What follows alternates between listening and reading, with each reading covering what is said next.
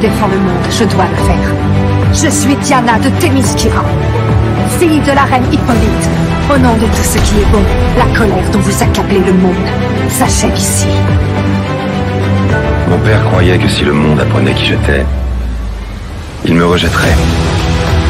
Il était convaincu que le monde n'était pas prêt.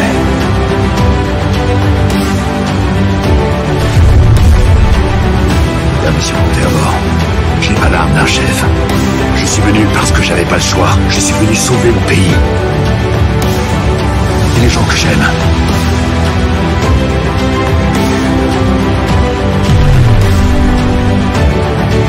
Forge ton avenir.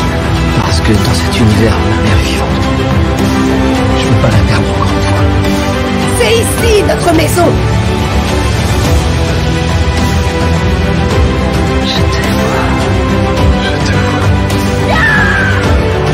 t'avais donné ma parole. Que je reviendrai pour toi. Je trouverai un moyen de tous nous sauver. J'ai complètement brisé l'univers. J'ai créé un monde sans état humain. Il n'y a plus personne pour nous défendre.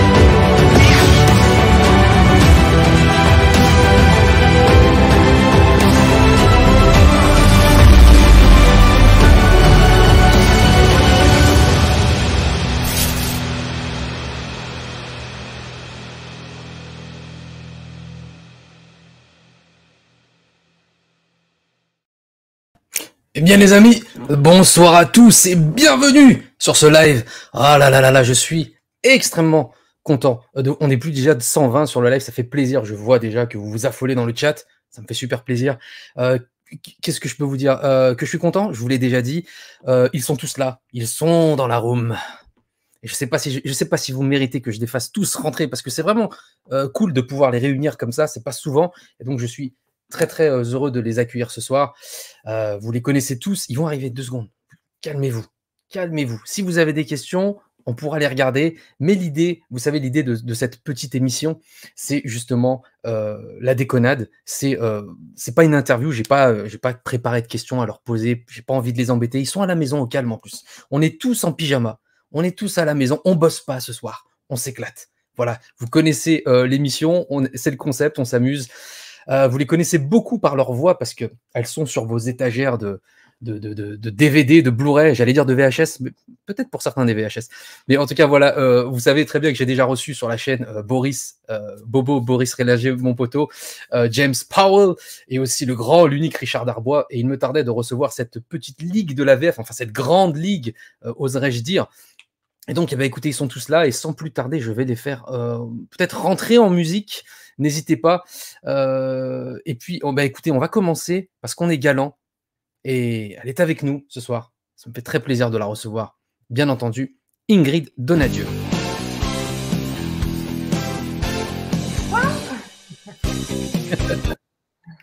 Comment vas-tu, Ingrid? Bah super, merci. Et toi? Bah, Très bien, je t'entends bien, tu m'entends bien, tout va bien de ton côté? Tout va bien. Et j'ai pu voir Bah, cette écoute, merci. bande-annonce Euh, absolument euh, top, non Franchement, il est canon ton montage. C'est, ça, ça donne envie de, de- de tous les revoir. Ah bah, ah bah oui, c'est vrai, hein, oui, bah, ça, ça Ouais. donne- Mais ouais, d'ailleurs, en plus, tu t'es reco- tu t'es reconnu quand même. Mais oui, parce que tu es la seule femme ce soir. Ouais, enfin, en même temps, parce que je t'ai dit les revoir, mais euh, on, on a, j'ai pas vu Aquaman. Et, euh, Ah. et Flash, bah, comme euh, il est pas encore sorti, je l'ai pas encore vu. Mais, euh, mais du coup, non, non, c'est, c'est bien. c'est- il est canon ton. Non, non, j'ai- Ah bah, ça tombe bien parce que de toute façon, il est là ce soir euh, avec nous. Euh, et on l'accueille aussi, Xavier Fayot.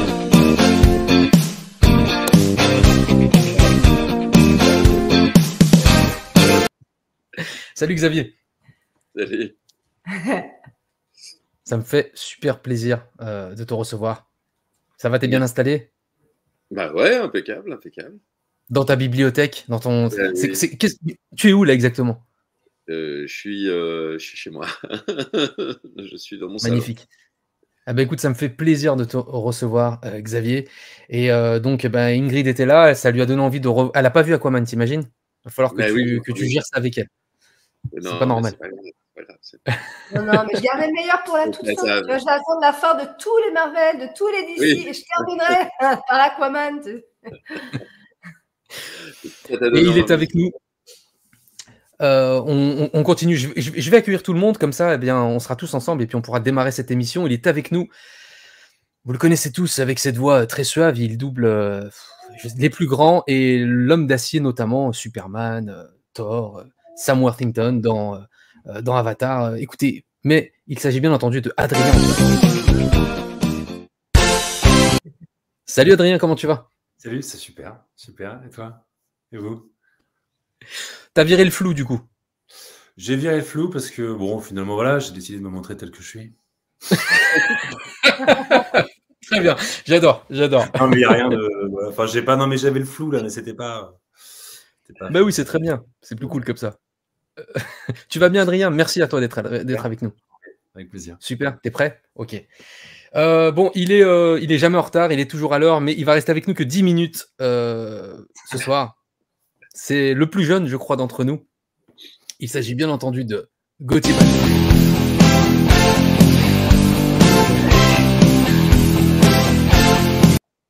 Salut les gars. Euh, Comment tu vas, Gauthier? un super montage, euh, très content d'être avec vous. Et je ne resterai pas 10 minutes, c'était une blague euh, dans la peau de Flash. Eh Bien sûr. Écoute Gauthier, je suis très très content euh, de, de, de, de- de te recevoir ce soir, surtout que en plus toi pour le coup euh, ta voix je l'ai beaucoup entendue ces derniers temps avec le, le trailer de, de Flash qui, qui est sorti et qui a fait trembler la toile. Mais oui, On oui, aura le temps. après, j'ai été très impressionné. Euh, C'est vrai qu'il y a, il y a Xavier aussi dans le trailer. Mhm. Et il y a Xavier aussi dans le trailer. Ah mais on dira oui on dira parce que les, je, je suis pas sûr que tout le monde sache qui double, euh, c'est- cool on, leur dira. C'est vrai que du coup Xavier il double des gentils, il double des méchants, il double des très gentils, il double des très méchants et ça c'est mortel. Et on est aussi là du coup euh, grâce à un ami en commun qui nous a réunis et pas des moindres. Je vais attendre qu'il allume sa cam parce qu'apparemment elle n'est pas allumée. Ah, alors, il est là, il est avec nous. Il s'agit bien entendu de monsieur Fuera Stéo.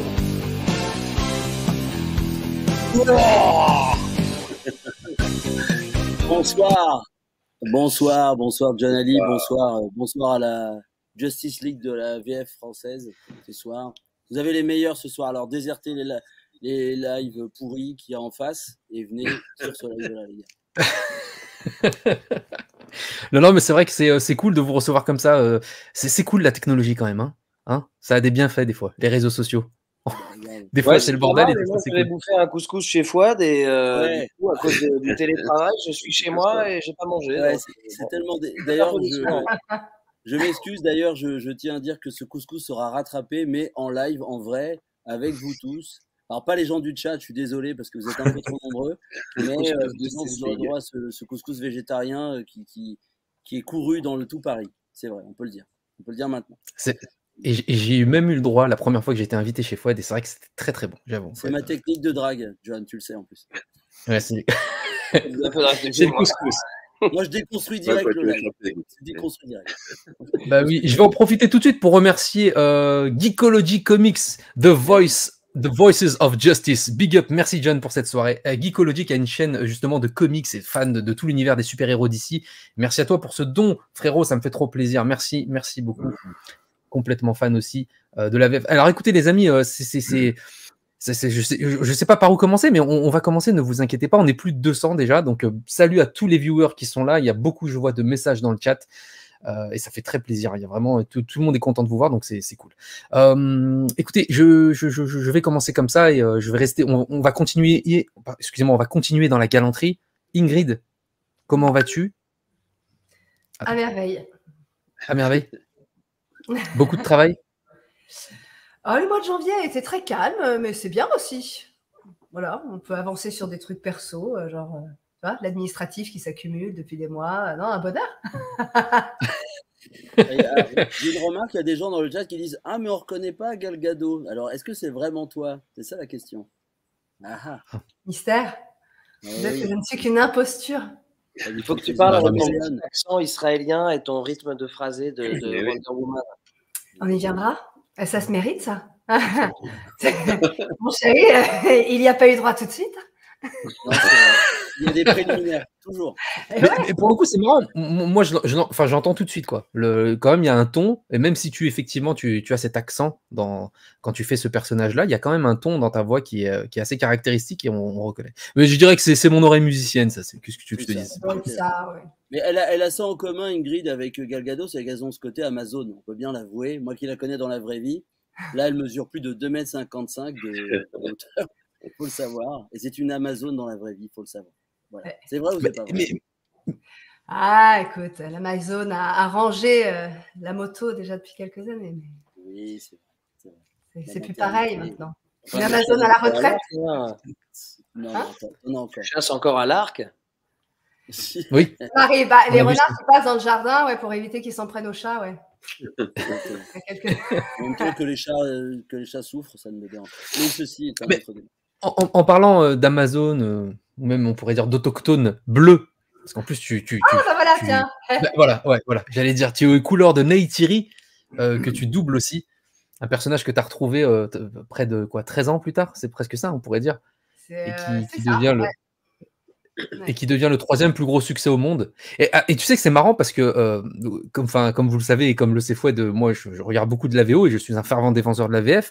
Mais pour le coup, j'aime voir les deux, mais j'ai été le voir trois fois en VF. J'ai pas eu l'occasion d'aller le voir en VO. Le deuxième? Donc du coup, je l'ai vu en VF ce Ouais. film. En même Et, temps, euh, si je peux me permettre, l'AVF, on a Ingrid qui fait Neytiri, euh, toi Adrien qui fait le rôle principal et toi Xavier qui fait le méchant. Et honnêtement, je suis allé le voir la semaine dernière parce que j'ai pas eu le temps d'y aller avant avec un super pote et on a passé une après-midi de ouf. Et vous Ah ouais nous avez fait euh, peur, pleurer, euh, à ressentir des trucs de ouf. Et franchement, vous êtes trop fort. Bravo. Oh, Merci, ouais, c'est vrai. Merci, C'est Gaëtan. plaisir. Sincère. Je me, jo- je me joins à ce concert de louanges parce que je trouve que cette VF est du niveau de celle qu'on pouvait connaître dans les années 80-90 où tout était extrêmement chiadé. Et, euh, et, je- et en plus, moi, j'ai eu la chance d'aller le voir euh, aux côtés de Xavier en VF. Je le découvrais à cette occasion en VF. Et vraiment, sa, sa performance euh, est vraiment euh, super. Et même, toi, Ingrid, tu m'as dit, tu m'as dit, Ingrid, que toi, à un moment, effectivement, quand elle pousse, quand elle criait, tout ça, euh, à un moment, euh, comment dire, les Thierry, tu, euh, tu, tu, euh, tu pensais que tu n'en avais pas donné euh, euh, autant, mais alors que moi, je trouve que ça marche super bien. Qu'est-ce que qu'est-ce que qu'est-ce que t'en penses, toi? Tu t'es- tu t'es revu au moins déjà ou pas? Non, j'ai j'ai pas pu aller le voir. Euh, toi, Adrien, tu y as été depuis? Non, toujours pas. Non, euh, je dit y aller, j'ai crevé. euh, du coup, je suis allée m'occuper de faire réparer mon pneu à la place. Mais euh, non, non, non, non. Je, je, c'est- alors déjà, c'était compliqué de la choper parce qu'elle avait la voix encore plus cassée. J'ai l'impression qu'à l'époque, où là, du coup, tu, tu sais que tu es battu en termes de raccord et, et du coup, en plus, ça lui donne quelque chose de- d'encore plus animal et d'encore plus euh, brisé que, qui était intéressant. Donc euh, ça, et à un moment donné, à moins de te la casser, bah, euh, tu peux pas aller le chercher. Donc il y avait, il y avait ça que, que je trouvais un peu dommage, euh, voilà, qui, me- qui me semblait être du coup pas au niveau, mais bon, là, malheureusement, la technique, à un moment donné, voilà. Et après, non, non, non, non, non, non, je pense que, je, je- je- non, non, je pense que ça va. C'est quand j'ai vu la scène, en fait, Ouais. bon, je pense que les gens qui l'ont vu savent de quelle scène on parle. C'est vrai que quand j'ai vu la scène, je me suis dit, pff, à, quel moment, enfin, où tu vas chercher ça, quoi? Et je me suis dit, mais je vais jamais arriver, enfin, c'est pas possible. euh, de... Et bon, j'ai pas vu le résultat. Après, euh, Bon, euh, marche- ça marche hyper bien et je peux te dire que toute la salle avait des frissons. Ouais. Et, et Non mais attendez, on peut spoiler, hein, je vous le dis. hein. C'est bon, le film il est sorti en décembre. euh, je vais pas me faire ceux qui spoilent pas. hein. On est, on est Mais plus non, nous, on est formés pour pas spoiler, c'est-à-dire que toute la journée on signe des contrats pour pas spoiler. Non, non. Non, non, sur John Ali TV, vais spoilé. cacher quelque chose pour ceux qui n'auraient pas encore eu le temps de le voir. Mais euh, Non, non, non, c'était- voilà. Mais non, je crois que non, non, je crois que je, je crois, je crois que c'était du bon boulot quand même. Oui, oui, oui. Je- Moi, vu. Ça... Non, non, c'était incroyable. Vraiment, euh, tu sais, je l'ai vu trois fois en VF et franchement, ça m'a, ce moment-là m'a tiré les larmes. Et je te le dis avec toute la franchise, et il le sait, Fouad, parce que de toute façon, moi je suis sorti, on s'est tout de suite appelé avec Fouad. hein. Je suis sorti de la séance, Oui. j'ai dit, bah écoute, c'est, c'est, c'est mieux que le premier. Je, lui ai- je- je lui ai dit ça, je lui ai dit, c'est même mieux que le premier en fait, en termes d'émotion, je trouve. Et tu as, vous avez réussi tous les trois à retranscrire ça euh, très bien. Et du coup, ça va me faire euh, jumper sur, euh, sur Xavier. Saute sur toi carrément. Il saute sur toi. Je saute sur toi. Xavier, du coup, tu, tu joues le, tu, tu joues le, le, le badass, le, le, le, le méchant, euh, presque qui deviendrait presque anti-méchant, on dira, si on veut spoiler un peu. Euh, du coup, tu re- toi, tu découvres cet univers parce que tu l'avais pas doublé, euh, le... t'étais pas présent dans le premier. Et non. Mais du coup, tu, tu, tu doubles quelque part un Quaritch un peu plus frais, un peu plus jeune, qui est dans un nouveau corps et Oui, tout. oui, voilà, c'est ça. Il est quand même euh, rajeuni. Je pense que c'est pour ça, c'est moi qui l'ai fait. Mais effectivement, euh, il est quand même très, très, euh, très, très méchant. Très, très méchant. Et même si effectivement, tu dis, il, y a un- il, y a un- il est double, bon, mais il est assez impressionnant au départ. Quoi. Tu te dis, oh là là, moi aussi, je disais comment ça va se passer. et c'est pour ça que je voulais voir le résultat aussi. Et euh, bon, voilà, on était, on était content de, de l'ensemble de ce qu'on a vu. Et vraiment, c'est vrai. Moi, j'ai trouvé que c'était que c'était réussi le, le travail euh, de tout le monde, je veux dire quoi. Ah oui, parce que ton personnage, il, Ouais, on il est, comme tu dis, il est très méchant, mais il y a aussi un côté, euh, il y a une émotion parce que il- du coup, il, il- il y a un côté, euh, il team up quelque part tout le long du film parce qu'il le prend en otage, mais son fils. Et donc, Oui, oui, euh, oui. Ouais. donc il y a des côtés comme ça euh, euh, où tu sens le, le, le, le père en fait qui, qui, qui- Mais qui ouais. est là. quoi. Ouais, mais la fin. Il y a le petit coup de bluff et là on voit que finalement il y tient quand même à son gamin. Ouais, oui, oui, oui, c'est vrai. Donc bon, c'est qu'il y a un Où est-ce- fond que quelque euh, part quand même. Où est-ce que tu as été chercher ça, du coup, Xavier, pour essayer de trouver justement ces nuances et tout ça? Tu t'es calé sur le boulot de Steven Lang ou tu as. Bah, dans l'original, ouais, bah oui, Ouais. se cale sur l'original, hein. Ouais, ouais, bien sûr, bien sûr. Après, euh... ouais, ouais, il fallait trouver quelque chose parce que il a un style très particulier, un style, un côté texan comme ça, militaire, un peu chantant, nonchalant, et en même temps très, très, très crispé, quoi. Donc le mélange des deux, c'était souvent je faisais les premières prises plus crispées, plus dark, plus dans les graves, et il me disait non non, il est plus cool que ça, plus nonchalant, et après c'est mou quoi. Donc euh, c'était cet équilibre là qui était difficile à trouver en fait. D'accord. En tout cas, ça le fait à fond. Et, et du coup, Adrien, toi, tu, euh, alors toi pour le coup, tu es, la voix officielle de, un peu comme Ingrid, hein, de, de Sam Worthington. Ouais, Voilà. officiel. je- oui, oui. euh, Enfin, c'est vrai que je l'ai beaucoup. Je crois que je l'ai fait tout le temps, à une, ex- à une exception près ou deux. Ah, moi, ouais, c'est j'ai signé aucun papier en disant que c'était. euh, ouais, ouais, j'étais avocat, mais je le fais. Non, mais je le fais très, ouais, pratiquement tout le temps. Ouais, c'est vrai. Enfin, moi, je l'ai découvert en tout cas au cinéma avec toi. Et euh, est-ce qu'il y a une, euh, une facilité comme ça quand tu suis un personnage comme ça, que que- quelque part tu suis sa carrière, mais même s'il joue des rôles quand même assez différents, euh, il fallait quand même aller chercher. euh, en tout cas, dans cet opus-là, euh, Avatar 2, il y avait le côté un peu autoritaire. euh, Ouais, c'est c'est ça. Il a quand même euh, gagné effectivement en, en autorité, en maturité. Devenu père de famille, donc il y a quand même un petit peu plus de, de jus, quoi. Et d'un autre côté, c'est je trouve que c'est un acteur qui est toujours, euh, qui toujours dégage toujours une certaine tendresse, une certaine nostalgie quand même. Donc il y a vraiment ces deux, ces deux, euh, ces deux aspects-là chez lui. Je trouve en tout cas dans, Avatar 2, ouais, il fallait vraiment aller être un petit peu dur.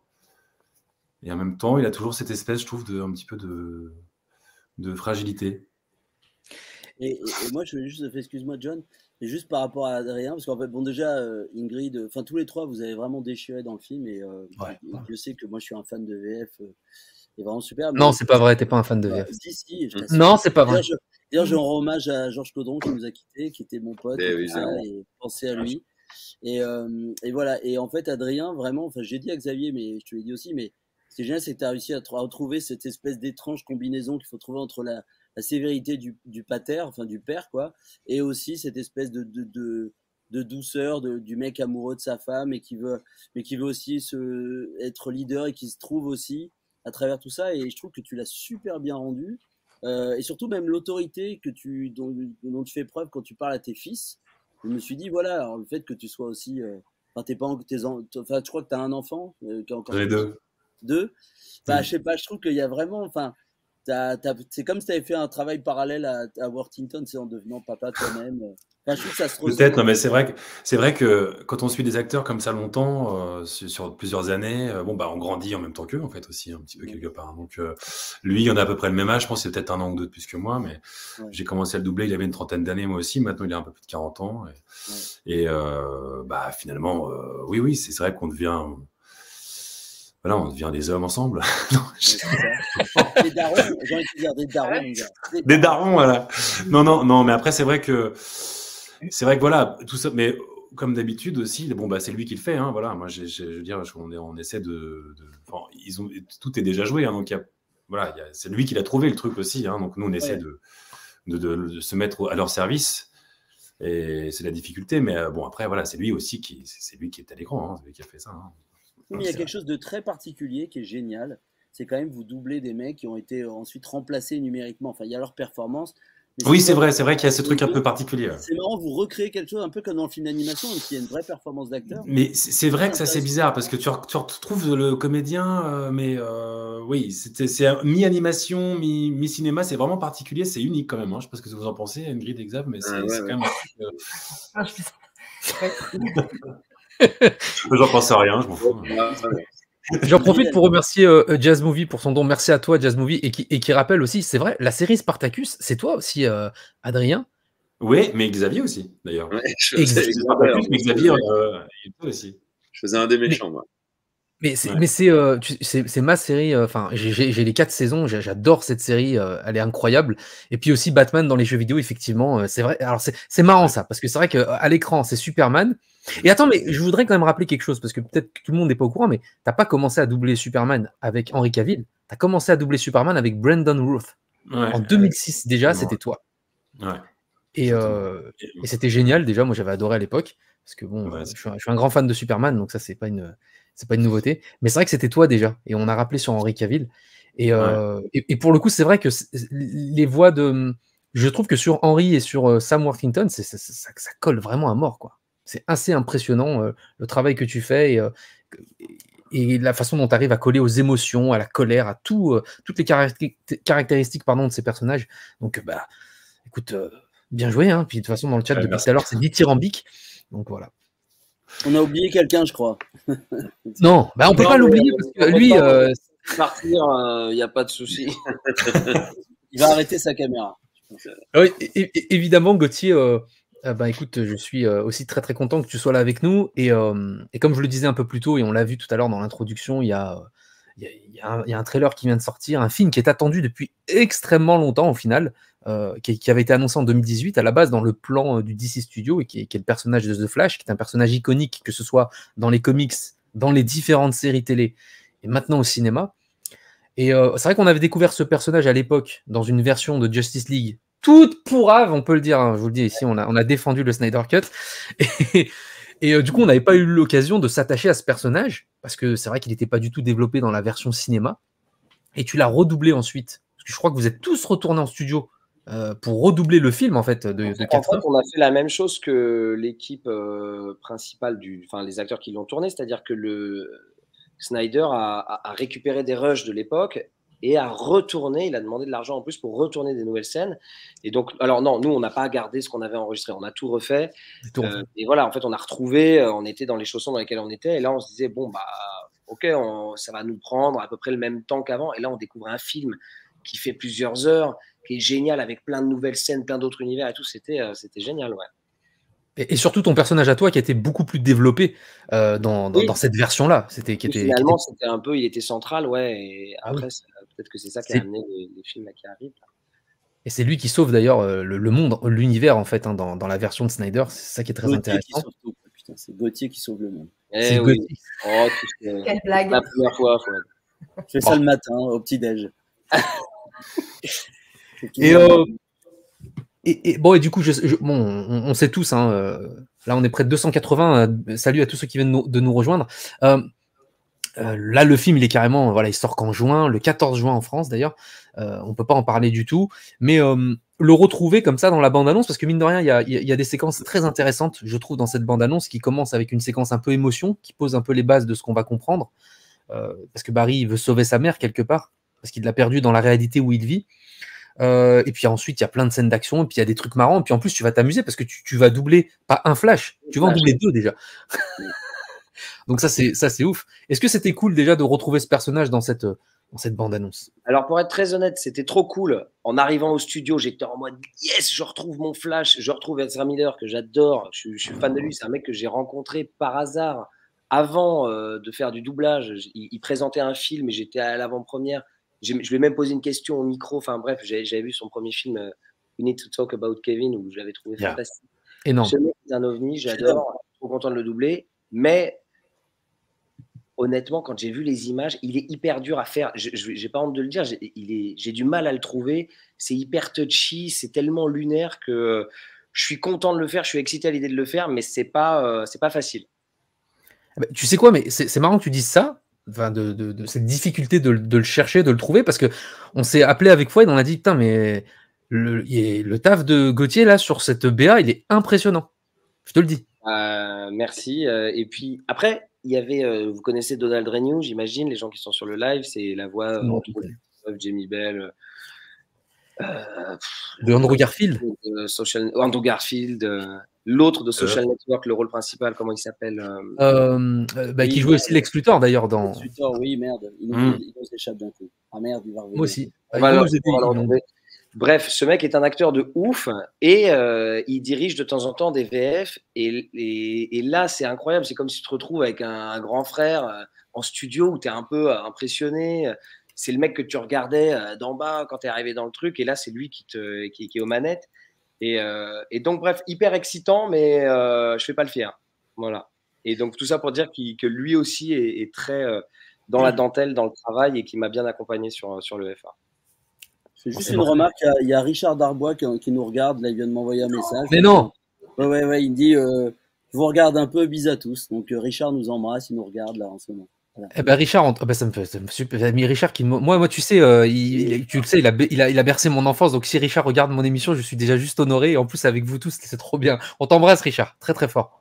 C'est trop bien. Voilà. Bon, Richard, je rêve de te rencontrer et de faire même une phrase avec toi en studio. Bisous. Voilà. Richard. Eh ben, on va voir ce qu'il va répondre. Écoute, euh, Moi, j'en ai en rien à direct. Très bien. Je t'arrangerai le coup, mon petit bateau. Je t'arrangerai le coup. T'en fais pas. Do- Donc là, c'est vrai, on, on- on- on parle beaucoup de, des voix, euh, mais vous êtes avant tout des comédiens, euh, euh, des, co- des comédiens tout court, voilà, au, au sens propre, euh, théâtre, euh, série TV, parfois cinéma. Euh, comment tu as commencé un petit peu ta carrière, toi, Ingrid, euh, en tant que comédienne? Avant, j'imagine, de faire du doublage. Euh, je me demande si j'ai pas plutôt commencé par le doublage en vrai. Euh... Ouais. Oui, j'ai commencé par le doublage. C'était sur Ah, Témiscaira en l'an 700. voilà. C'était euh, mon papa. Ah oui, comédien, on embrasse. Bernard Pierre de Nadieu. Voilà. Et qui du coup me traînait avec lui euh, à chaque fois que j'avais pas cours sur les plateaux, euh, sur les plateaux de doublage. Alors parfois c'était cool, parfois j'aurais préféré rester avec mes copines. mais, euh, mais du coup, à force, euh, bah forcément, euh, j'ai, euh, j'ai appris en observant. Jusqu'au jour où une occasion s'est présentée parce que bah, ils avaient oublié de caster une gamine, etc. et que j'étais là.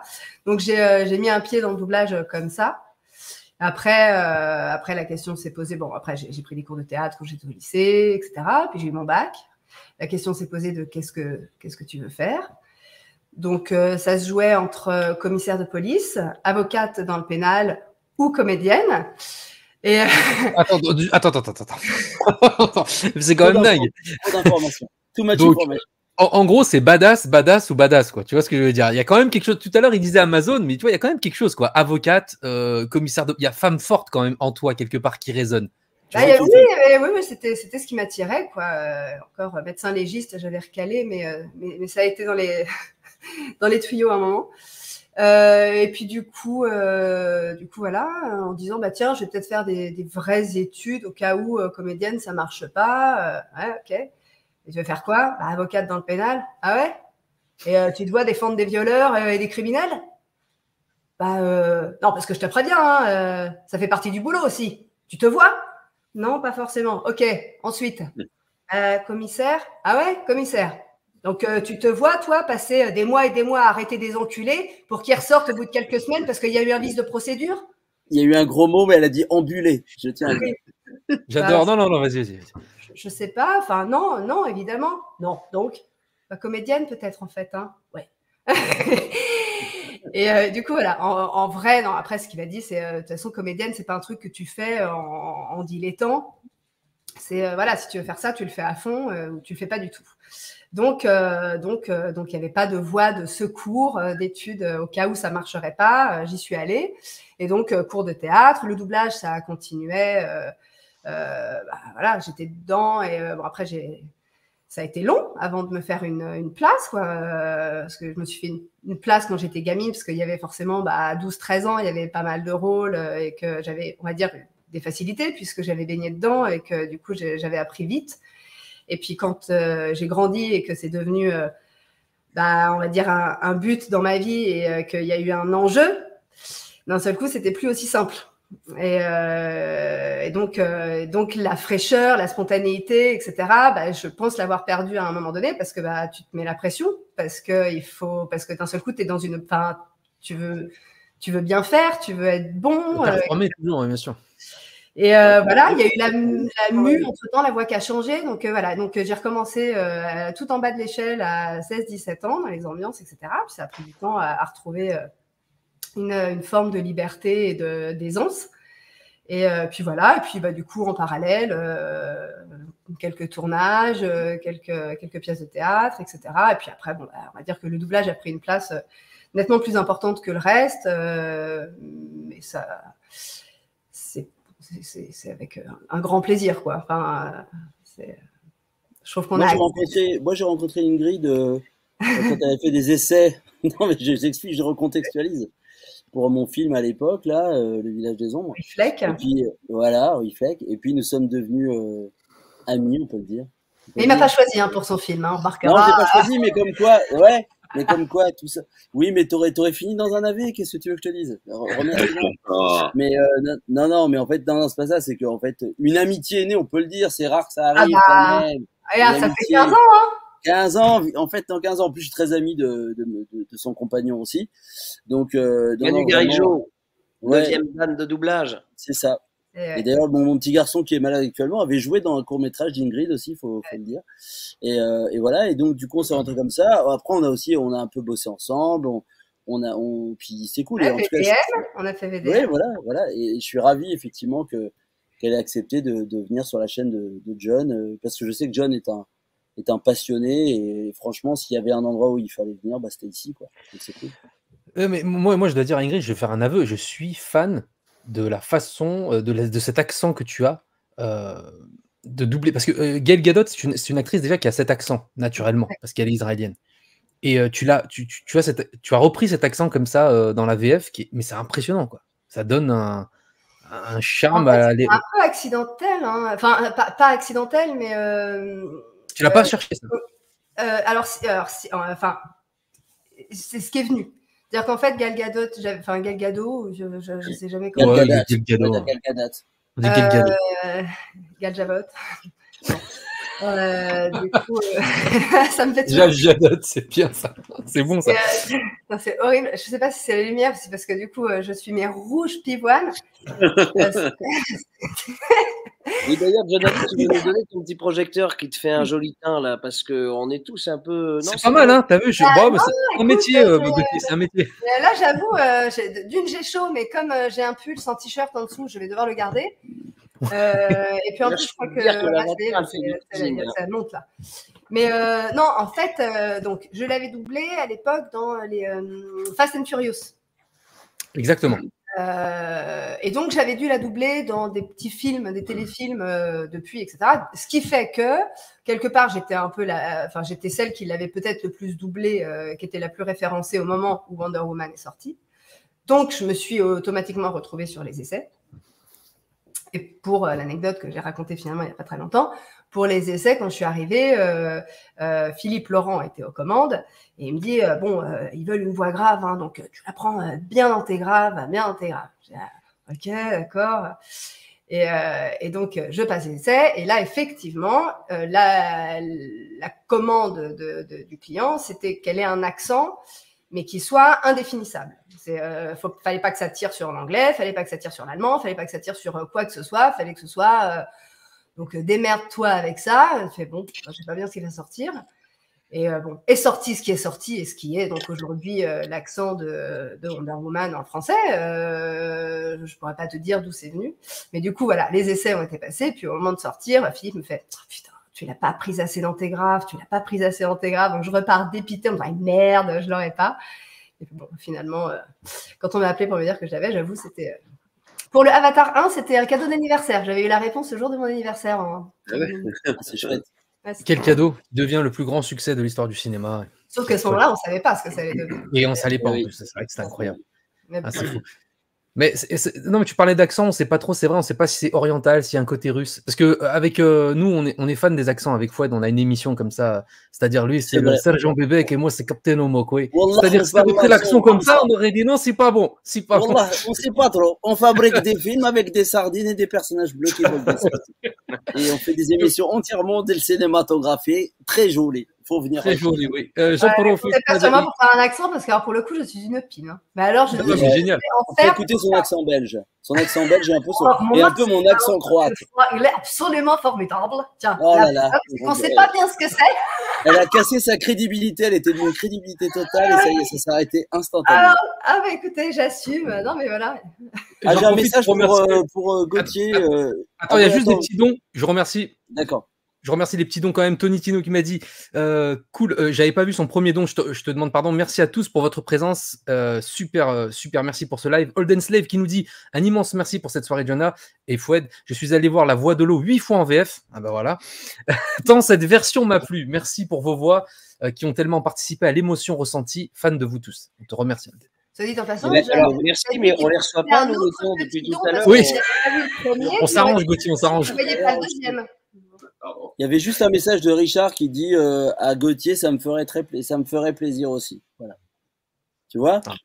Ça valait le coup. C'est pour ça que je me suis permis. Alors, là, tant que tu es, la soirée, les gars.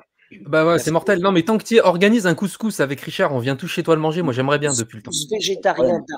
Il vit loin, il vit, il vit loin malheureusement. Mais- Euh, là, euh, yo John, j'espère que ce live restera en ligne, mais bien entendu qu'il restera en ligne. Il va, va, va, rester gravé dans la pierre de, YouTube. Désolé, en ce moment, je suis un abonné absent. Mais il a beaucoup de boulot. Là, il bosse sur Netflix et il est euh, cadreur pour des gros films sur Netflix. On l'embrasse. Il a beaucoup de, de taf. Là. Euh, bon voilà, je remercie les dons. euh, merci. Ah bah écoute, en tout cas, Ingrid, c'est très intéressant de savoir que tu ne sais pas quel accent tu as interprété, mais en tout cas, il sonne à la perfection. Je dois te le dire et j'adore. Voilà. Mais est-ce que c'est pas parce que, en vrai, t'as pas vraiment d'accent sur Galgado Est-ce que c'est pas une histoire de rythme, de comment tu découpes tes phrases? Parce que tu l'as fait parler un peu comme ça. Il n'y a, pas de- y a pas de sonorité bizarre. C'est juste Oui. que tu lui donnes un rythme, un phrasé particulier. Et c'est ça qui colle, Peut-être.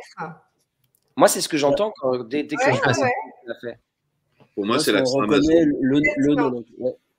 D'ailleurs, sur Netiri, sur Netiri aussi, un petit peu, tu, tu rythmes un peu particulièrement. Enfin, Ouais. de façon un petit peu particulière. Ouais, ce qu'on n'a pas vraiment gardé sur le 2. Ah, tu le faisais plus sur le premier que sur le deux Ah, Ouais, sur le premier, oui, et sur le 2. Ouais, voilà. Mais il me semblait que sur le deux, tu le Sur faisais deux, ça fait 10 ans qu'elle vit avec son mec, donc ils, ont, ils se sont imprégnés l'un de l'autre. Ma grand-mère est norvégienne, elle a vécu en France pendant 60 ans, elle a toujours un accent norvégien. Ce n'est que mon avis, mais c'est pas grave. Après, euh, Et te défendre. Alors, c'est très bizarre parce que dans Avatar 2, il y, a une, il y a une petite convention. À un moment, ils sont censés parler en avis tout le temps. Puis à un moment, il dit une- Adrien, tu dis une réplique. Enfin, le- pas Adrien, mais Sam Worthington. Et normalement, ils parlent en anglais pendant tout le film, mais ils sont censés parler les trois quarts du temps en avis. Donc là, effectivement, euh, c'est peut-être pour ça que finalement, t'as pas trop d'accent. Mais c'est bizarre. Enfin, tu vois, c'est bizarre comme Quand transcription. ils arrivent euh, chez les mecs de l'eau et que ils font Non, la non, c'est avant. Tu sais, à un moment, il y a les gamins qui sont en train de jouer. Tu sais, les gamins, ils sont en train de jouer, puis ils sont en train de parler en avis. Et puis à un moment, il, euh, la voix off dit euh, Ah oui, à force de les voir, voilà, maintenant, c'est la- le Navi, c'est devenu Ouais. un langage que je parle. Et dans la VO, après, tout le monde se met à parler en anglais. Parce que ça avait choqué les fans de dire Ah, Dis donc, pourquoi ils parlent tous à Merloc euh, Ouais, bah ça ouais, n'a ouais. pas de sens. Et, tout. et voilà. Et donc, euh, en VF, mais c'est pas le même directeur de plateau. on euh, est quand même bien content que ce soit pas des sous-titres Navi quand tu prends de la 4DX et que tu as payé ta place en VF. Se dire quand même, quelques réponses de temps en temps, c'est exotique, mais le résultat, là, on, on a envie de voyager sur son fauteuil et de se prendre de l'eau dans les gueules. quoi. C'est clair. Non, si en plus faut lire les sous-titres. Je te dis pas. L'enfer. C'est pour ça, allez le voir en VF, vous emmerdez pas. Oui, Euh, Xavier, tu- Euh, et, et Xavier, toi, tu as commencé euh, du coup en tant que comédien, plus qu'en tant que, que comédien de doublage? Euh, oui, moi j'ai commencé en fait par les imitations en fait. Attends, attends, excuse-moi deux secondes. Euh, Attends, excuse-moi, excuse-moi, je te coupe, je me permets. Tu vois, juste là, t'as fait. Je te jure, on entend Quaritch, c'est un truc de ouf. Hein. Là, t'as une voix, c'est caractéristique, c'est impressionnant. Ce mec, quand il hésite, c'est quoi, Rich Il faut pas qu'il hésite. Voilà, ça. Un moment très particulier. Bah, tant mieux. Bah, écoute, euh, ouais, c'est. bah, et tu disais, oui, un truc un peu de, comme ça de, de, de Fry, là, comme on dit. J'ai essayé d'imiter ce qu'il faisait lui, en fait, par moment, dans ce truc-là. Ça m'a aidé à le trouver aussi, ça. De me rapprocher du côté un peu euh, comme ça, euh, fort et, euh, et un peu avec ce truc-là, ce, ce grain. Mais euh, oui, non, moi j'ai commencé par les imitations quand j'étais petit. En fait, c'est ça que, que j'ai fait en premier. Et puis du coup, mes parents m'ont inscrit au cours de théâtre euh, au conservatoire de la ville où j'étais. Et puis j'ai commencé à prendre des cours de théâtre, de diction.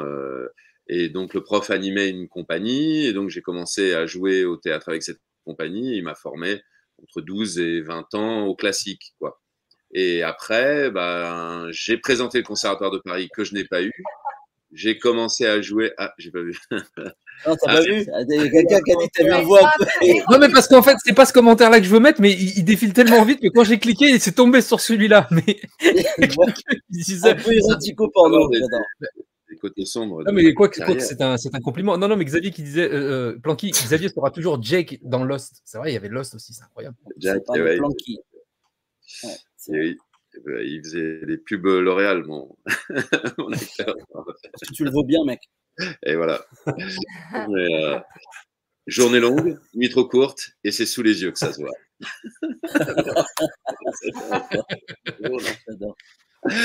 Ouais, on dormait peu à l'époque. Mais euh, donc et puis après bah ouais j'ai commencé à jouer un peu avec euh, des troupes euh, et, et en parallèle j'ai fait mon premier one man show et c'est là qu'après fouette j'ai rencontré Georges Caudron et que j'ai commencé le doublage. Ah, Ah oui, c'est un ami euh, en commun. C'est que Fouette t'a Oui. présenté, c'est ça? Ouais, c'est Fouette Ouais. qui m'a. En fait, ce qui, ce qui s'est passé, c'est. bah, D'ailleurs, c'est marrant, je reprofite pour saluer aussi euh, Samir de Microciné, parce qu'on a fait une émission avec euh. Richard, Ouais. Nicolas Marié, il y avait Xavier, et puis il y avait notre regretté Giorgio qui était là aussi. Donc allez jeter un œil euh, à cette interview si vous voulez voir Georges, qui était quand même euh, un puits de science euh, et un mec génial. Et donc, oui, effectivement, j'ai eu la chance de rencontrer Georges, euh, parce que j'étais un fan d'X-Files. Et puis, je trouvais que j'avais, Xavier, je l'ai connu, on avait 18 ans, il faisait mes, mes premiers courts-métrages, on était dans, dans, le même, dans la même école de commerce, on va dire. Et puis, euh, il a toujours une voix incroyable, mais déjà à 18 ans. Enfin, voilà. Moi, je pense que même bébé, il devait avoir une voix de ouf, quoi. Et puis, euh, et puis, il devait- il devait- voilà, bref. Et, euh, et toujours est-il qu'en connaissant Georges, eh ben, à un moment, je lui ai dit, tiens, j'ai un pote à moi, il est génial, faut que tu l'écoutes. Et puis, voilà, le reste, le reste, c'est de l'histoire, j'ai envie de vous dire. Voilà. Bah ouais, moi, je Et, dois euh, beaucoup à Georges qui m'accueillait sur les plateaux, qui me payait le repas le midi, qui faisait en sorte que je sois avec l'équipe. Et par simple sympathie, quoi. euh, et parce que, voilà, il avait envie de transmettre aussi. euh, et donc, euh, c'est vrai que c'est. Je l'ai beaucoup suivi sur les plateaux. Sur la série Le Caméléon, il m'a pris sur plein de petits rôles. Et ça m'a permis de rencontrer beaucoup de monde. Et c'est vrai que c'est vraiment. Alors là, vraiment, Georges qui m'a permis de rentrer dans ce milieu. Et il t'a donné Michael Weatherly dans, dans Lost, euh, Oui, Dark dans Angel, Dark Angel. dans Dark Angel, la Ouais. série produite par Cameron. Ouais. C'est- C'est bien quand même ces marques de, de souvenirs, euh, de se rappeler les copains qui ont donné des coups de main. On sait que dans ce métier, c'est pas facile, euh, les coups de main. Euh, les passes décisives, comme on dit souvent. Euh, des fois, c'est le fruit du hasard, des fois, c'est être là au bon moment, et puis des fois, c'est des coups de main des copains et, qui jouent vraiment le jeu à fond, et, euh, et on les remerciera à, à jamais pour, euh, pour ça. Euh, J'en profite juste pour remercier notre ami qui nous regarde du Canada, le, euh, Mario, pour ton don de 100 dollars, ça fait plaisir. Bonsoir, je suis le doubleur officiel de John Ali pour la version québécoise. Très bien. Merci, mon Mario. Et, et- et Xavier, tout à l'heure, tu parlais de prendre le ton et tout. tu sais, il a une voix de ouf quand même, Jason Momoa. La voix comme ça dans le froc, tu vois, tout le temps, même quand il parle naturellement. Et, et du, du coup, c'est vrai que tu vas là, là, là, tu es parti la chercher celle-là. C'est beaucoup plus grave, beaucoup Ouais. plus. euh, Ouais, il y a beaucoup plus de rock dans les grands fonds. Mais euh, non, bah écoute, oui, c'est. En fait, je me suis inspiré de- du travail que j'avais fait sur Thorin dans Le Hobbit. Et je me suis alourdi par rapport à ce que j'avais fait sur. En fait. C'est ça qui s'est passé. Mais c'est lors de l'essai. Euh, euh, bon, j'ai vu, moi, je, me disais, mais je vais être léger. Donc, c'est pour ça que je suis allé chercher cette voix. Et puis, bizarrement, il s'est passé un truc, quoi. Ça a marché. Donc, après, euh, l'essai a été assez facile une fois que j'avais trouvé ça. Et puis, enfin, on l'a trouvé assez vite avec euh, Hervé Ray. Et puis, et puis voilà.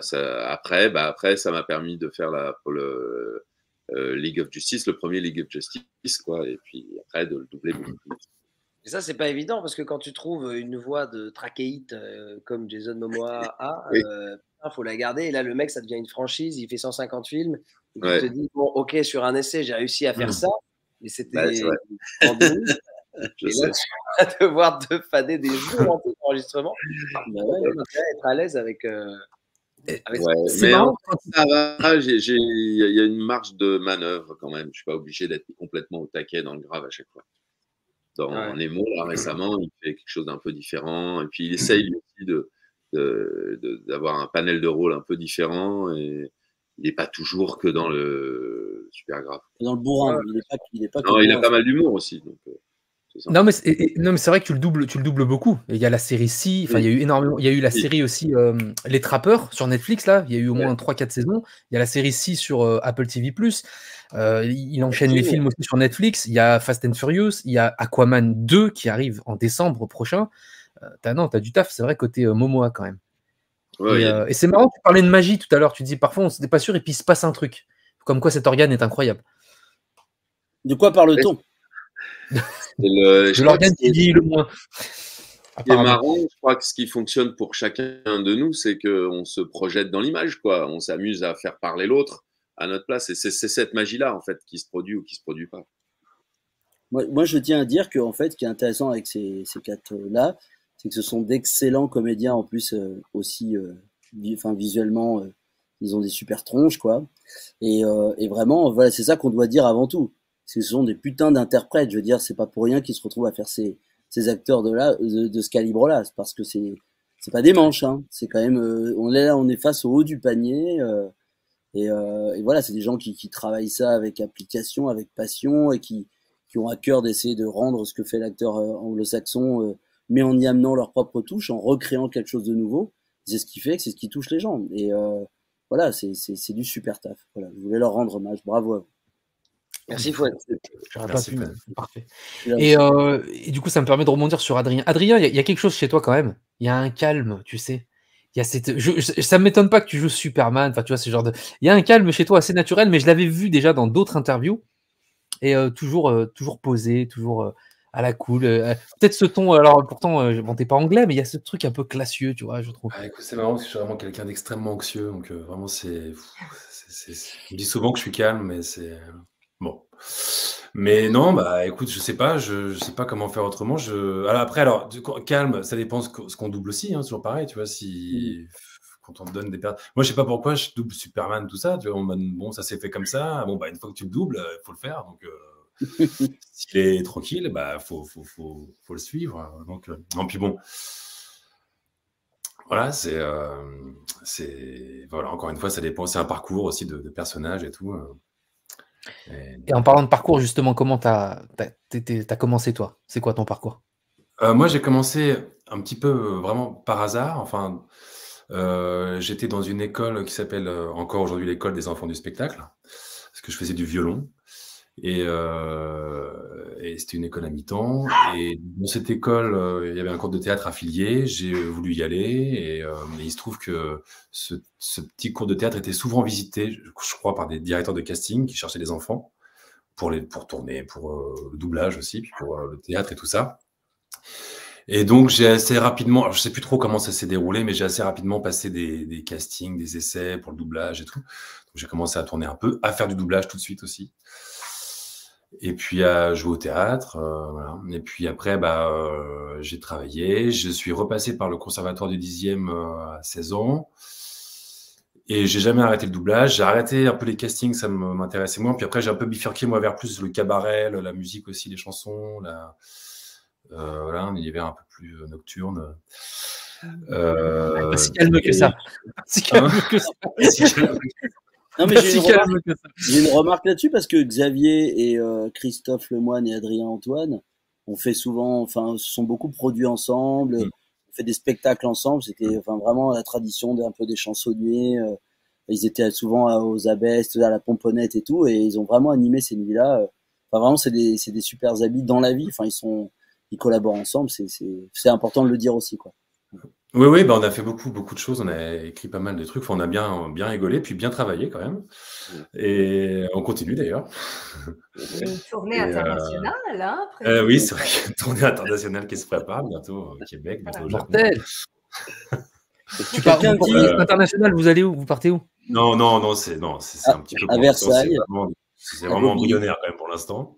Ouais, à Versailles. Super. À Versailles et Bobigny. Moi. Non, non, mais ceci dit, on est, on est quand même euh, sur. euh, bon, on a, un, on a un projet là, avec Christophe et Xavier de. euh, un nouveau projet d'écriture euh, qui, bah, d'ailleurs, il faudra qu'on en parle. Oui, C'est d'accord, parce oui, qu'on s'est mais dit au téléphone. à t'avoir. on- Mais oui, mais- C'est maintenant, alors bon. Ah, bah, écoutez, on vous laisse là, nous, on se barre tous les quatre et puis on vous laisse. Donc voilà, puis bon, bah, après, voilà, c'est comme ça que j'ai commencé, vraiment pas par hasard et puis très, très jeune. euh, euh, j'ai cette chance d'avoir commencé très jeune aussi. Ah oui, en plus, en plus c'est vrai quand vous commencez très jeune comme ça le doublage euh, et vous suivez des personnages parce que et tu suis pas en plus pas seulement Superman parce que tout le monde parle de Superman mais il y a aussi Thor en fait, un, héros d'une autre franchise qui est- aussi qui cartonne dans plein de films, d'ailleurs qui en a fait beaucoup plus que Superman. On vit Ouais, dans un monde où Thor a plus de films que Superman, mais bon c'est pas grave. Mais et, et du, du coup Chris Hemsworth et puis d'autres films aussi pas que Thor. Euh, c'est Ouais. incroyable. Bah ouais, ouais, écoute, c'est beaucoup, beaucoup de chance. euh, je- je- encore une fois, c'est marrant, ça se fait souvent aussi au hasard. On passe des essais, ça marche, d'un coup, ça devient tort, ça- c'est un truc qui fonctionne. Lui, bah, du coup, il a fait quand même une carrière jusque-là euh, plutôt, euh, plutôt, plutôt une belle carrière, enfin, avec des, plein de films différents. Ce que j'aime Ouais. beaucoup euh, chez, chez cet acteur-là et, et aussi chez Henri Cavill, c'est que c'est des acteurs qu'on, je, je dis souvent, mais ils ont, je trouve qu'ils ont beaucoup d'humour sur eux-mêmes, donc c'est- aussi. Donc c'est très agréable. euh, C'est des gens, euh, je sais pas, des gens intelligents. Ça, ça se voit que c'est des gens qui sont euh, qui ont de l'humour, quoi. Donc c'est euh, très très agréable. Ils sont très agréables à doubler. Moi, j'ai deux questions pour Adrien. La première, c'est euh, comment ça se fait que tu doubles que des beaux gosses? Je me base sur ce qui est dit dans le, dans le chat. Quelqu'un dit il ne double que des beaux gosses. Comment ça se fait? Est-ce que tu serais pas un peu beau gosse toi-même? Mais non, mais non, mais écoute, je sais pas pourquoi ça s'est fait comme ça. Euh, après, je doute pas que des beaux gosses. Parce Ah. que euh, Ah bon? il y a, bah, je doute par exemple, alors, je, qui n'en prennent Ah, Vas-y, qui est moche Qui est moche, Adrien mais je doute quand même McGee dans, dans, dans, Ah bah dans ouais. NCIS qui n'est pas le, le- le prototype Ah du beau oui. gosse, le stéréotype plutôt du beau gosse, pardon. C'est vrai, c'est vrai, c'est vrai. Et, euh, et j'ai pas doublé que des beaux gosses, non, non, non, mais bon, bah après, oui, c'est c'est vrai que je joue pas mal de, de personnages un peu de, de- de super-héros et tout, donc en général, euh, bon, c'est c'est rarement des. En général, c'est des beaux gosses, quoi. Ouais. Ma deuxième question, c'était vu qu'il y a beaucoup de fans ici du, de, de, de Man of Steel et tout. Ils sont tous dégoûtés que Cavill ne revienne pas en Superman. Ah oui, Ils alors. veulent tous t'entendre dire je reviendrai avec moment- ah, Non, mais- c'est ma- c'est marrant parce qu'effectivement, euh, euh, Black Adam est sorti en octobre dernier. Il y a eu cette scène où, euh, où effectivement, il y a, il y a Henry- tout, tout le monde savait pas si Henry Cavill revenait. Puis là, tu le doubles. euh, et en plus, euh, ça reste sur bon, il faut qu'on parle. Donc on se dit, putain, ça y est, Henry Cavill est de retour. Et puis mais euh, un Henry mois Cavill, après. il, il, il- il fait pas Superman, il arrête The Witcher et, euh, et Chris Hemsworth met un ter- enfin, pas- enfin, fait une pause dans sa carrière parce qu'il a, il a pris une nouvelle, Alzheimer. voilà, une, une mauvaise nouvelle de, santé. Donc euh, bon, moi, je vais peut-être pas tarder à arrêter non plus. Oui, c'est vrai. T'as les tout perdu d'un coup. C'est ouf. C'est incroyable. Le mec, il a plus personne. Quoi. Oh, merde.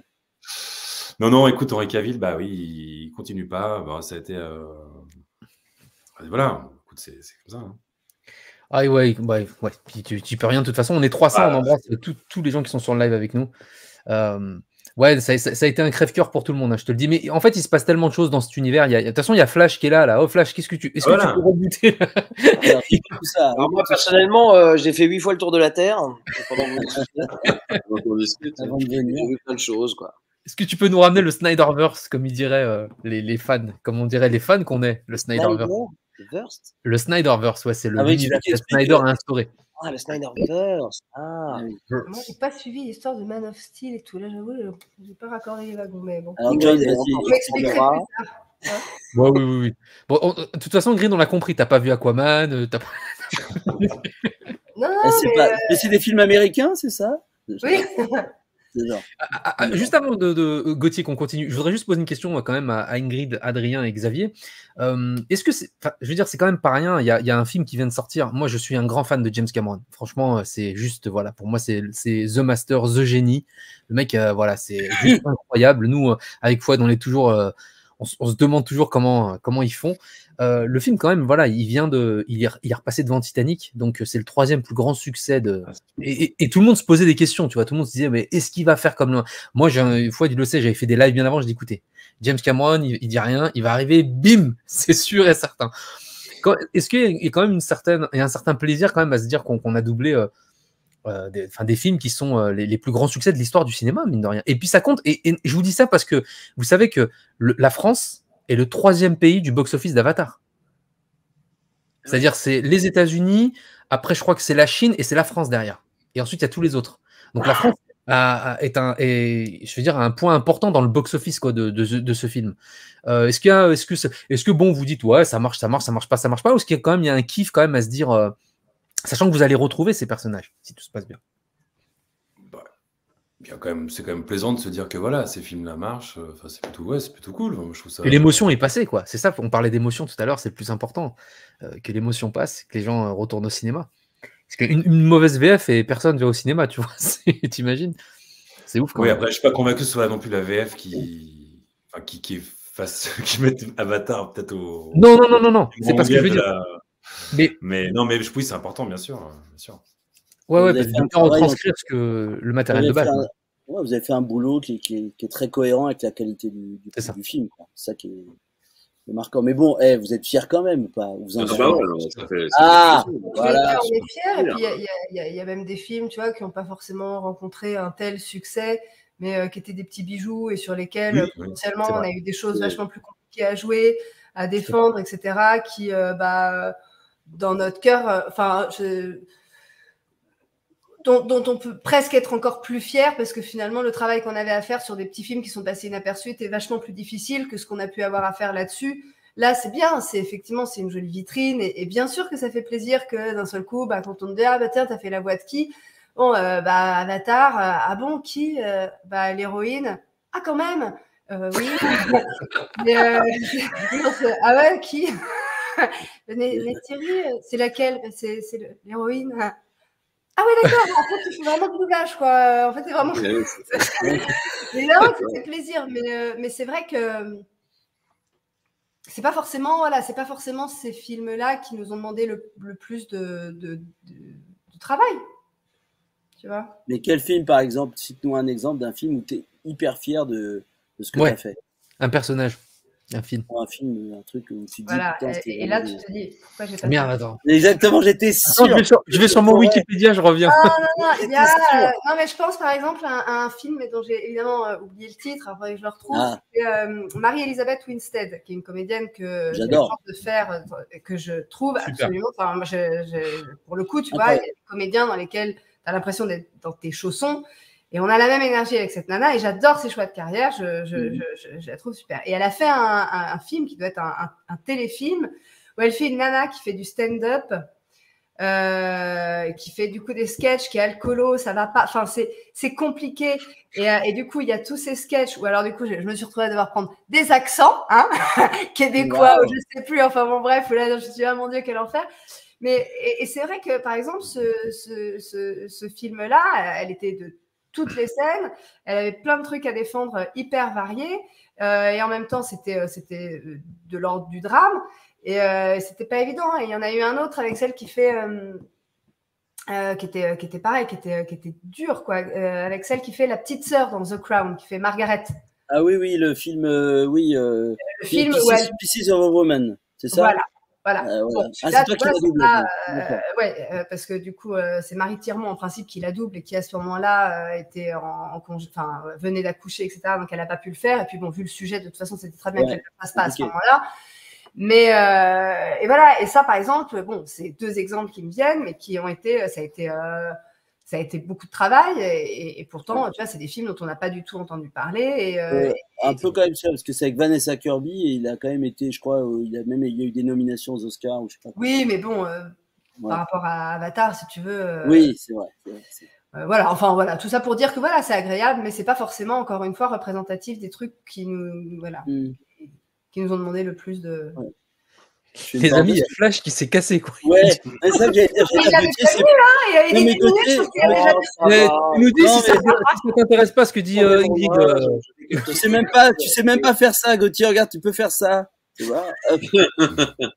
Non, mais là, ça veut dire que tu as quelque chose à te reprocher.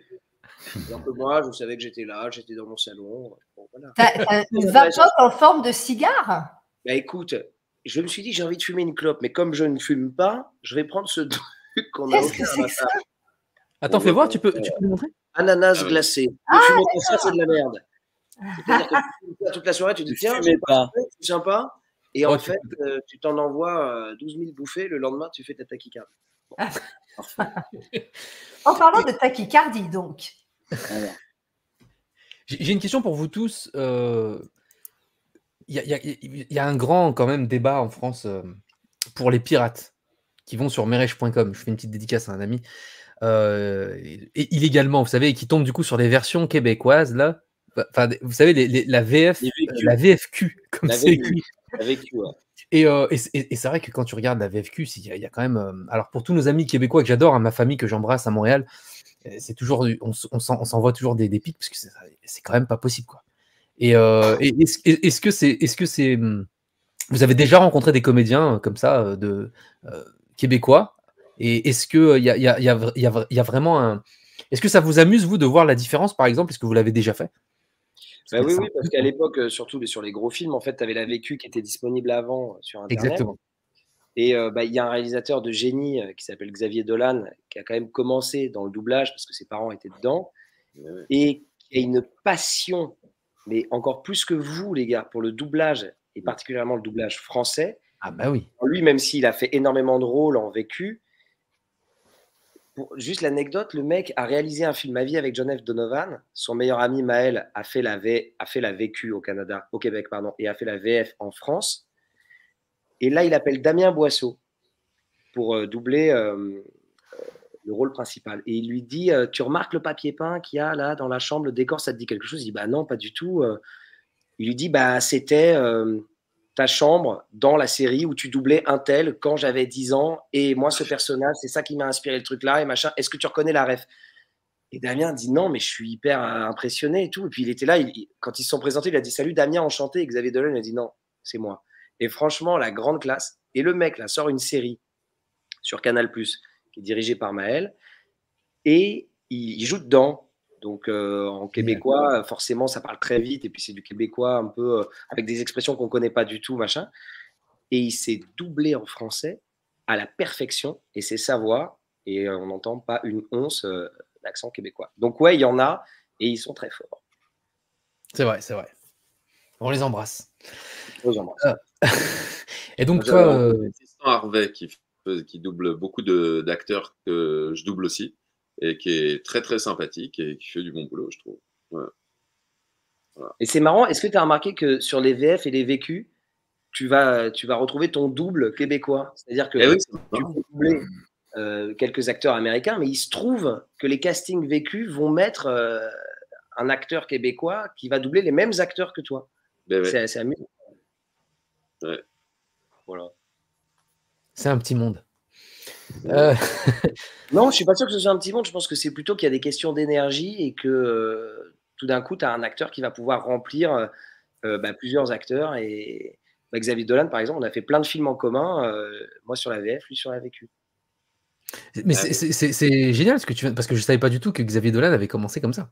Avant Si, de si, créer. et tu remarqueras au César, euh, Ouais, euh, César.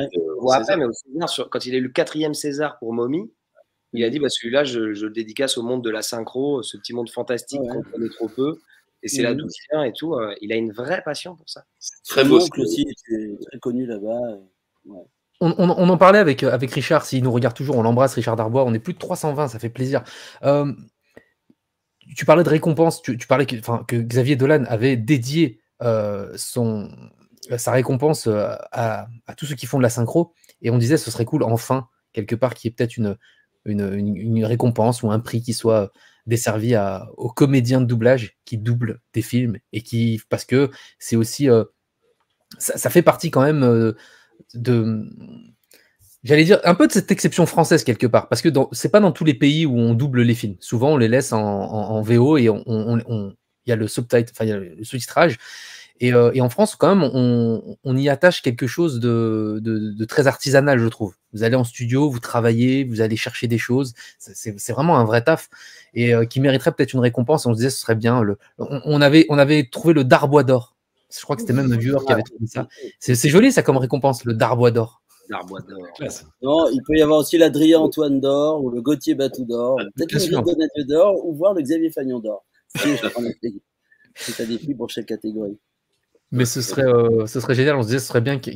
D'ailleurs, euh, juste euh, comme ça, pour l'anecdote, j'ai vu ça récemment, là, il y a un prix qui va être une espèce de fédération qui, qui, qui vient d'être créée, et un prix, en tout cas aux États-Unis, qui sera desservi au stunt, à, tout, à tous les ah cascadeurs, enfin, ah qui, qui une grosse dédicace à eux, parce que c'est un travail de malade aussi, quoi. C'est juste de la folie, et qui, qui n'était pas reconnu comme ça dans le métier jusqu'à présent, autant qu'il le devrait. Donc voilà. Et eux-mêmes sont tous cascadeurs et cascadeuses. D'ailleurs, ils vont vous faire des cascades. Doubleur et doublure. Et, et, Gauthier, ah, pas mal, pas mal, pas mal. Excellent.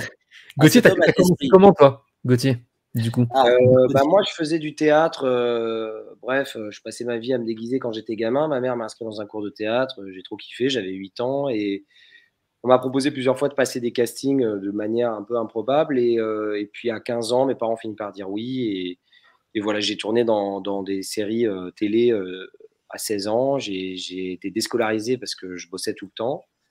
Et euh, au bout de quelques années, je rêvais de faire du doublage parce qu'on était fan de ça avec mon frère. Et on avait même redoublé des dessins animés et tout. Et en fait, c'est Dorothée Pousseau et Emmanuel Garigeau, qui n'est autre. Attention, spoiler Attention, spoiler D'Ingrid Donadieu Oh mon dieu.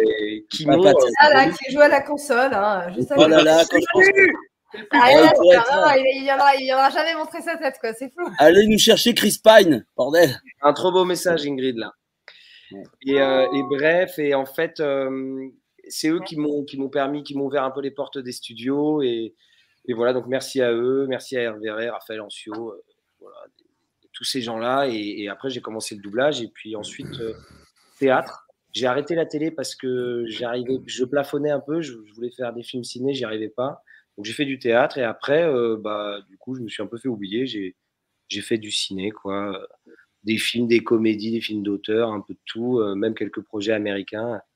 Et je peux te dire que le jour où tu te doubles et que tu es avec tes potes en studio et que tu fais Hé, hey, il est pas mal ce comédien, Alima.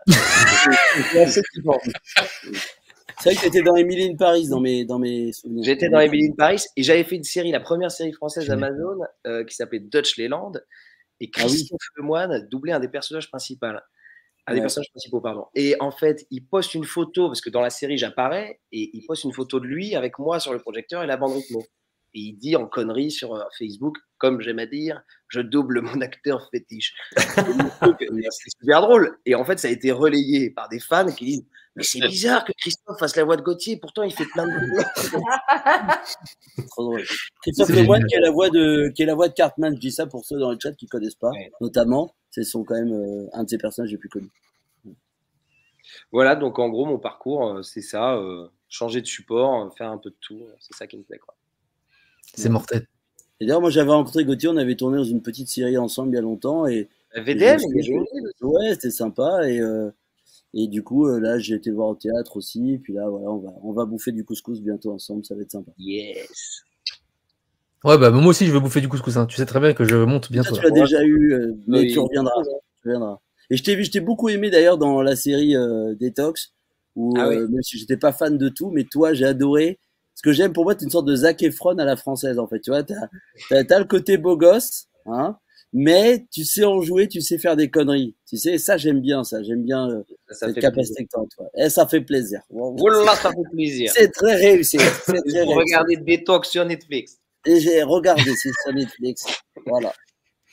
Et, Gauthier aussi, parce que j'ai vu ça là sur. Euh, je sais plus qui, comment s'appelle ce, ce, ce, site? Il y a un mec qui, qui référence tous les, les, comédiens de doublage. Je crois qu'il faut. Euh... RS doublage. RS doublage. Il s'appelle Et il fait un sacré boulot. Je crois que c'est RS doublage. Ah, ouais, ouais. Et, j'ai vu que tu, parce que c'est sur l'affiche, et j'ai vu que c'est toi qui avais doublé euh, euh, euh, Luke Skywalker, Mark Hamill, parce que c'est Mark Hamill qui était sur le, qui était sur le tournage euh, de, dans, dans Mandalorian et dans Boba Fett. Et c'est quand même, c'est un kiff quand même ça de, de doubler euh, Luke, bah, mec, Luke Skywalker, pas, euh, tu vois, Luke Skywalker, tu vois. Franchement, j'ai la flemme, mais là-bas, j'ai des étagères où j'ai un sabre laser que je me suis construit quand j'avais 14 ans. Pour vous dire à Attends, on veut voir ça, mince.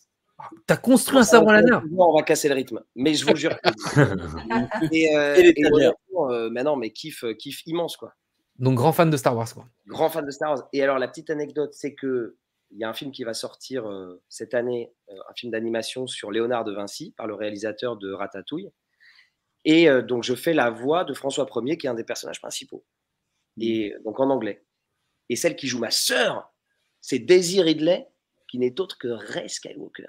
Eh oui. Et en fait, ce qui est ouf, il y a Marion Cotillard et tout dans le film, ça va être trop cool. Et ce qui est ouf, c'est que le réal, finalement, je crois que j'ai cru comprendre qu'il préférait les premiers Star Wars. Et du coup, il m'a dit, mais t'es vraiment la voix française. Le mec est américain, hein, il parle pas français. Mm. Dit, T'es vraiment la voix française de Luke. J'ai dit, ouais, c'est incroyable. Il m'a donné un masque, c'était à l'époque du Covid, avec le Luke euh, Skywalker Ranch et tout. Je fais, bah, trop Mm. bien, merci et tout. Mais mec, j'en reviens pas. Attends, j'appelle Daisy. Il appelle Daisy, il lui dit, tu te rends compte, celui qui joue ton frère, c'est ton père. Et je dis, ah, mais. Ah, et là, elle fait, ah ouais, cool. Normal. Et euh, je dis, mais tu, tu as quand même la vraie meuf qui joue dans le vrai film et qui est l'héroïne des trois. Il fait, ouais, ouais, ouais, ouais, ouais. Et en fait, je pense qu'il l'adore en tant que comédienne, mais qu'il a une petite Madeleine de Proust avec les premiers. Même ne parlant pas français, il, il apprécie euh, le personnage de Luc, les premiers. C'est mortel. Ouais, j'ai vu ça, j'ai fait ah ouais. En plus, d'a- d'ailleurs, juste comme ça, en passage, le, le- dans Boba Fett, là, l'épisode. euh, enfin, d'ailleurs, l'extrait que j'ai mis dans l'intro, mais putain, mais ça y est, on, on a passé un, un- un cap en termes de, de deepfake. C'est un délire. Tu revois. Euh, Enfin, Ouais, gens tu vois ouais. limite pas le trucage, quoi. C'est un truc, c'est un délire, quoi. C'est De malade. flippant. Et alors, Ils ont rajeuni Luc. Ouais. ce qui est encore plus drôle, c'est qu'ils ont rajeuni Luc. Donc il y a un mec qui joue Luc avec des capteurs. Il y a Luc qui se Ouais. joue pour que ce soit Ouais. vraiment Luc. Il y a un mec qui fait la voix de Luc. Il y a un mec qui fait le visage. Il y a un mec qui fait des cascades. Il Ouais. mélange tout ça pour faire le film. Et quand toi, tu passes les essais pour le doublage, ils modifient la gueule de Luc parce qu'ils ont peur que les essais fuitent. Aujourd'hui, je peux le dire parce que le truc est sorti depuis longtemps. Ah ouais, c'est drôle. Ils font des effets spéciaux sur les effets spéciaux. Et là, on me dit, mais tu, tu comprends qui tu fais? Je dis, bah, Jar Jar Binks. le laser d'Obi-Wan. On fait putain, mec, vraiment, t'as l'œil, quoi. Ça pouvait être que Luc. Et tu- tu- D'ailleurs, maintenant, en, en termes de sécurité, là, quand vous êtes sous embargo comme ça, parce que vous doublez tous les, tous les quatre des, des gros gros films, de gros studios, euh, j'imagine que voilà, ça, ça doit être ficelé à mort sur les plateaux, euh, pas de téléphone, pas de machin, pas de truc, parce que je crois que vous êtes, euh, vous rentrez Voilà, dans bunkers euh, en fait. C'est quoi le Derrière la fenêtre de Xavier, qui, est- qui, en joue à peu près H24, et, et à la moindre divulgation d'informations, il est prêt à intervenir. Il y a des snipers on qui a sont une garde rapprochée qui, qui nous interdit. hein. Il y a des snipers qui sont prêts à les abattre s'ils donnent une information. Mm. Voilà. voilà. Mais, euh, Mais c'est- Boris euh, et euh, James et, et James qui, qui me disait ça quoi, qui me disait c'était c'était la, la folie quoi. Il disait des fois on arrive sur des plateaux euh, à une heure précise, euh, puis pas en même temps. D'ailleurs c'est vrai que vous, vous jouez de moins en moins ensemble, c'est ça aussi non Il me semble. Mmh, ouais, Ça revient là, c'était surtout Ça- à ah. mais là ça revient. Bon, tant mieux. C'est quand Non, mais il y a des studios où il y a des avant. reconnaissances rétiniennes, où pour rentrer sur le plateau. Ah c'est vrai ça, la reconnaissance rétinienne, c'est vrai. ouais, ouais, ouais. C'est incroyable. Hein. Ouais. C'est vrai que c'est dommage pour la Justice League de pas euh, avoir pu euh, le faire. Enfin, je sais pas, je crois pas que vous l'avez fait tous ensemble derrière la barre parce que Ah non, c'était en plein Covid. des mecs, euh, tu sais, du Muppet Show, tu sais. Ah, mais de toute façon, maintenant, même pour des, pour des raisons techniques, ils veulent les pistes séparées. Donc, Ah, c'est pour ça. même, même sans parler de, de, de confidentialité, je crois que là-bas, ils veulent mixer avec les, les pistes séparées. Donc, de toute façon, même si tu es à deux, tu le fais pas ensemble.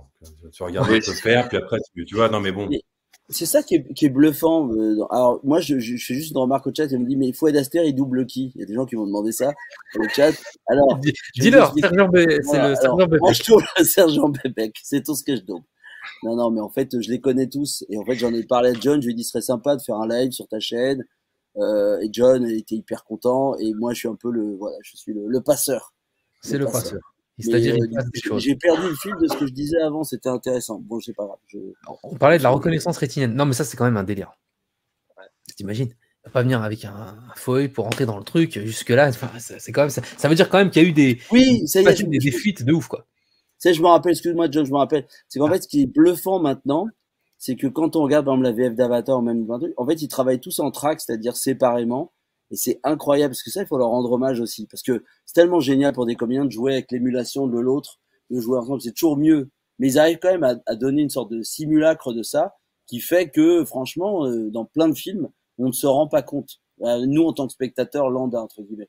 Et ça, c'est pas évident. C'est vraiment, il faut vraiment avoir beaucoup de métiers pour arriver à rendre ça. Mais pas que ça. Les DA, les DA, qui doivent être très vigilants parce qu'il faut pouvoir anticiper sur ce que ça va donner quand on va se répondre, si on n'est pas ensemble sur le plateau. Euh, de se dire, euh, donc il faut, faut, faut quand même euh, être Mmh. très, très, très vigilant et très concentré. Je crois aussi, il y a si l'approche, elle est vraiment de d'essayer d'être au plus précis, euh, de le coller le maximum à ce que font les comédiens. Bon, bah, on peut s'en sortir comme ça aussi. Tu vois, si, si... Ouais. Voilà, c'est quand même, ça fait quand même un bon guide de suivre l'acteur Knoob. Quoi. Donc, si eux, euh, comme ils se sont parlé, si tout le monde est un peu. euh, voilà, fait attention à ça, ça peut aussi euh, aider. Quoi. Et des fois, ça vous arrive aussi dans le casque d'avoir les retours de ce que l'autre comédien a déjà fait. ce On a aussi- rarement un casque. hein. Très rarement. ouais. Ah ouais, t'as pas? Jamais même, pratiquement. Et puis il suffit que tu arrives en premier, les autres sont pas faits. Donc, Ouais. en fait, Voilà. Le pire, c'est quand tu as un mec qui a pas bien écouté la VO, que le DA Eh ouais. n'est pas très vigilant, Ouais. et que là, tu, on te dit, bah, attends, ça répond pas du tout. Tu dis, bah, attends, la VO, en fait, le mec, il parle pas du tout assez fort, ou il parle beaucoup trop fort. Tu Et le donc, donc t'as pas envie d'être ce gars-là, parce que tu peux être ce gars-là aussi. donc. t'as pas envie d'être ce gars-là, donc tu fous la pression. ouais, C'est vrai. Et il y a aussi le, il y a aussi le fait que parfois vous voyez pas vos personnages, vous voyez que des bouches ou enfin ils font une espèce de, enfin, ils font des masques quoi. Mm. Ouais. Ça, c'est l'enfer. ouais.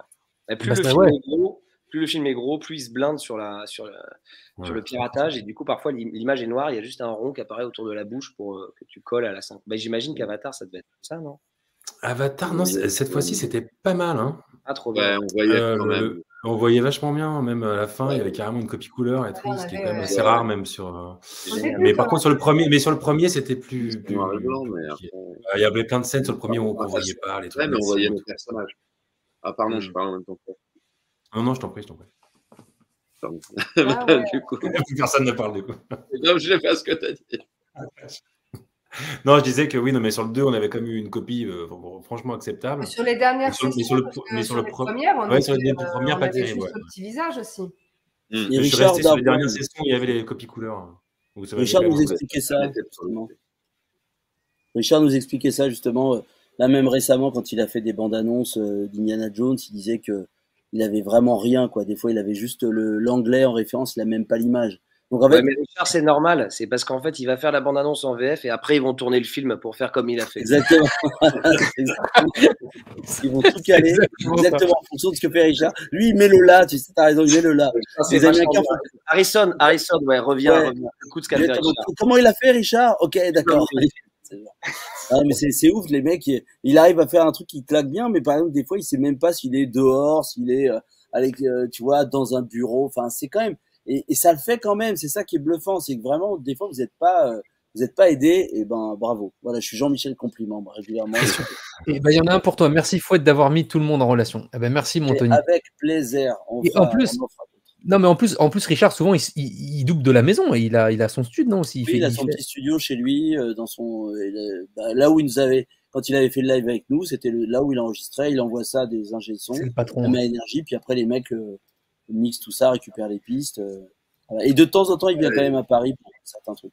J'ai vu une question tout à l'heure plus haut pour, pour vous quatre. Euh, je pense que Gauthier même il aura une réponse parce qu'il est fan comme moi de VF. Vous avez eu des, des héros comme ça, des voix? Bon, Richard forcément. Richard, on t'embrasse si tu nous écoutes encore. Euh, vous avez eu des héros comme ça de VF que vous avez euh, avec qui peut-être vous avez travaillé ou pas encore, ou vous avez envie de travailler, ou peut-être même qui vous ont donné des conseils comme ça? J'imagine des gens qui avaient du métier. Ingrid, toi, tu étais ton déjà. Papa était comédien, donc toi, ça va. C'est vrai que t'as- t'as baigné là-dedans, toi, du coup. Ouais, ouais, moi j'ai ouais, j'ai j'ai eu ce- cette chance, ouais. Euh, non, bah du coup, oui, effectivement, euh, non, ça me paraissait. euh, oui. Merci. Bonsoir, on dirait, Mon héros, c'est mon on dirait mon gamin euh, qui répond oui ou non. Non, non, il a dit euh, il y a. Bah, non, je me, il y a- bah, je, je me suis retrouvée à, un peu par hasard à diriger euh, Patrick Poivet. Et ça, Ah bah, c'était. regarde. Hommage, hommage. Ah ouais. Et, euh, et c'est vrai que euh, on s'était on s'était croisés euh, plusieurs fois, évidemment. Et puis, euh, alors pour le coup, bon, je, je- je risque de, de, de me faire euh, huer, mais moi, je regarde pas beaucoup, beaucoup de VF, euh, enfin très, très, très peu. Et les VF que je regardais, c'était euh, comme j'étais plus jeune, quoi. Donc, en fait, Mm. euh, moi, mes références, c'est effectivement euh, Bruce Willis, euh, Arnold Schwarzenegger, euh, euh, Julia Roberts, mais de- de- des films que je regardais à cette époque-là en VF et que je ne pourrais d'ailleurs pas vraiment revoir en, en VO aujourd'hui parce que forcément, voilà. Et on a tout ça, c'est vrai. Il y a des films qu'on veut pas re- revoir en VO parce que la VF est restée comme ça dans notre cerveau, comme ça, étant petit, c'est fou. hein. Ouais, et, euh, et du coup, voilà. Et du coup, euh, bah, Patrick, effectivement, euh, je crois que c'était. euh, si, la première fois, c'est quand j'étais venue vous voir, les gars, à la pomponnette, justement, où, euh, où j'avais pas percuté, et d'un seul coup, j'entends. euh, Il y avait Charles qui était là ce soir-là, Charles Neville. Et, euh, et j'entends quelqu'un commander un pichet de rouge à côté. Je me dis, Hein et d'un seul coup, mais c'est Bruce Willis. et vraiment, ce- et, et donc, euh, donc. Et euh, moi, pichet de rouge. Ah, ouais. Et- Pourquoi il Hein, appelle qui pour commander une pizza Mais Ah, juste- c'est un moment. Le mieux, c'est Christophe Lemoine limite à la perfection. Donc Ah ça, ouais. c'était un, un grand moment. Puis après, bon, voilà, on s'est, on s'est, on s'est croisés, etc. Et puis, euh, et puis euh, peu de temps avant qu'il parte, ouais, j'ai, remplacé quelqu'un euh, sur, un, sur un projet. Et du coup, je me suis retrouvée euh, à diriger Patrick. Et voilà, ça, a été, euh, ça s'est très bien Ouais. passé. C'était adorable. Non, c'était chouette. C'était- Et, et- et pour toi, Xavier, il y a, il y a des voix comme ça qui t'ont. Moi, euh, moi je- quand j'étais petit, je voulais rencontrer Actarus. Alors, euh, Ah, j'ai déjà Dorac. C'est vrai, ouais, je voulais rencontrer Actarus et, et donc j'avais 7 ans. Quoi. Ma mère m'avait dit bah, tu peux éventuellement écrire à An- Antenne 2 euh, pour, euh, Antenne 2, alors pour les enfants qui nous regardent, les TikTokers, les TikTokers. la voix du monsieur. Mais je ne comprenais pas, moi, ce concept de la voix. Et, Ah, euh, et un jour, euh, je me retrouve dans le foyer des comédiens euh, chez Malibu à l'époque. Et je discute avec un studio. monsieur d'un certain âge, quoi, mais qui était sympa, quoi. On discute dans le foyer, puis c'est à nous d'enregistrer. On va enregistrer. C'était un bocal. On, est, on était euh, séparés euh, par une vitre de l'ingé son et du DA. Et nous, on enregistrait ensemble. Donc, euh, on y va. Je faisais son banquier, je me rappelle. On lit la scène en VO. Et puis, moi, je commence à lui parler donc, de son compte en banque. Et là, il commence à parler. je- Oh et ça m'a fait un choc, franchement, de me retrouver à côté d'Actarus que je voulais rencontrer quand j'avais 7 ans. Tu sais, j'ai vécu la régression. d'un coup. Je me suis arrêté dans la scène et, et j'ai dit pardon, excusez-moi, mais euh, bah, je vais expliquer. Et voilà, bah, il était très gentil. Et puis euh, c'était Daniel Gall qui était très très gentil. Enfin voilà, il a été très très sympa quoi. Et puis on a fait la scène et, et euh, c'était. Mais il était déjà sympa avant quoi. C'est marrant. Il, il était très sympa. On avait sympathisé et puis ça m'a fait un drôle d'effet quoi. Donc, euh, voilà. Bah, tu m'étonnes. À court, à court, prince de l'espace. l'espace, Ah, mais- viens nous sauver. Bah oui, oui, non, mais non, c'est vrai.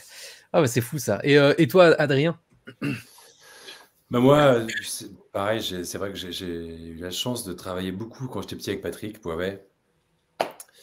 Euh, C'était une grande influence, une, j'ai une, voilà, une immense admiration. J'ai- Je l'ai vu, j'ai aussi eu la chance de le voir beaucoup travailler, donc de, de le voir cette, cette inventivité, cette créativité, cette, cette virtuosité. euh, pff, c'est- c'est jamais, il fait jamais ce que t'attends, ce que, enfin, ce qu'on attend qu'il va faire. Enfin, voilà, donc c'est et puis euh, une grande, gen- une grande- très grande gentillesse, très grande tendresse aussi. Et euh, quand j'étais enfant, il a toujours été très, très, voilà, très tendre, très, euh, très rassurant, très. très- Puis il m'a appris beaucoup de choses euh, à travers, parce qu'à l'époque, à cette époque, il, il dirigeait pas mal au début des années 90. Voilà. Après, voilà, bien sûr, bah, bien sûr, il y a Richard, il y a, voilà, il y a Jacques France, il y a tous tous ces, tous ces, Ah, ces Jacques France. grands qui nous ont euh, influencés, je pense, inspirés et qui continuent de, de le faire. Et, et puis, il y en a d'autres aussi, mais voilà, c'est vrai que bon, bon, Richard, c'est- Ouais. par exemple, il nous regarde toujours. Le roi. C'est- marrant parce que, euh, tu vois, euh, Patrick Poivet, par exemple, Bruce Willis, je crois que c'est le- les seuls films où je peux pas les regarder en VO. Je, je les regarde. Ouais, mais, euh, bah, ouais, mais ouais. Et du coup, maintenant, je, me- je me fais un Bruce Willis, un pot avec comme je me fais un Gabin, quoi. Euh. Très bien dit. Mais, mais, mais c'est vrai, c'est ça en fait. Et, et du coup, même les films, euh, les les films dans lesquels. D'ailleurs, j'ai reçu sur la chaîne un réalisateur qui a réalisé les derniers, parce que vous savez que Bruce Willis, sur la fin de sa carrière, il a fait une quarantaine de films en VOD directement, euh, des petits films qui sortent comme ça en direct ou DVD maintenant, direct ou streaming. Et, euh, et donc, du coup, c'est plus euh, pour les nouveaux là qui sortent, c'est plus Poivet qui les, qui les double. Et je les regarde en VO quoi. Je les regarde même pas avec la nouvelle VF, c'est juste pas possible parce que j'adore regarder les. Alors moi, j'adore regarder les les nanars de les, les- les- j'aime l'industrie euh, cette, cette industrie alternative de petits films j'adore aussi. Et donc voilà je regarde euh, be- beaucoup ça et je la regarde en VO mais c'est vrai que je sinon tous les classiques c'est en, en VF c'est pas possible autrement. Et, et Richard sinon regarde Richard qui a été euh, euh, l'un des seuls à pouvoir passer comme ça d'un Stallone à un Schwarzenegger sans que ça te fasse bizarre que ce soit pas Beretta ou que ce soit pas euh, Dorval tu vois. Parce là la que maîtrise de, de- de ce génie. ouais parce que Dorval aussi C'est tellement bon. On m'embrasse à oublier, tu te dis même pas que, que la, la est bien. Tu te dis juste que tu es à fond dans le film et avec le personnage. Et Mm. ça, c'est- c'est. Ouais, Moi, moi j'avais dit dans un des lives avec Darbois, j'avais dit que lui, euh, on pouvait kiffer, on disait pas ah c'est la voix de Bruce Willis, machin, on disait ah c'est la voix de Richard Darbois, c'était un des rares. Parce que les autres on dit ah c'est la voix de Stallone. Ouais, mais lui on dit c'est Darbois en fait. c'est Darbois en fait c'est juste Ouais. sa voix, elle, elle- elle se suffit en, en elle-même quoi. Mais euh, oui non c'est un, grand bonhomme. Voilà et rendons hommage à, aussi à Jack France qui nous a quitté Ah, aussi. Jack euh, oh là, ouais, et, c'est euh, qui est quand même Mel Gibson, De Niro, enfin sans lui c'est c'est plus pareil. Ça, c'est plus pareil voilà. du tout. Big up à assez grands, euh, Caudron, Franz, Poivet, puis il y en a plein d'autres hein, que les gens connaissent peut-être moins, mais Et ils sont partis. Et, et ton papa, bien sûr. non, José Lucioni. euh, Ah, José Lucioni, oui, bien sûr, qui est la voix d'Al Pacino qui nous a quittés. Ah oui, voilà, euh, c'est, bah, bah, par, bah, par exemple, juste pour donner un exemple, la saison 1 de Hunters, je l'avais regardée en VF, parce que je suis fan de la voix euh, VF de Pacino, et la saison 2, moi je l'ai regardée en VO. Même si, voilà, le, bah, même si euh, le, comédien de doublage fait un super travail, c'est vrai que c'est tellement ancré dans quelque chose qui, nous, on a, en plus, nous, on est cette génération avec laquelle on a grandi là-dedans. Voilà, et du coup, bah, j'en viens à toi, Gauthier, euh, toi qui es du coup fan de VF, on va parler la même langue.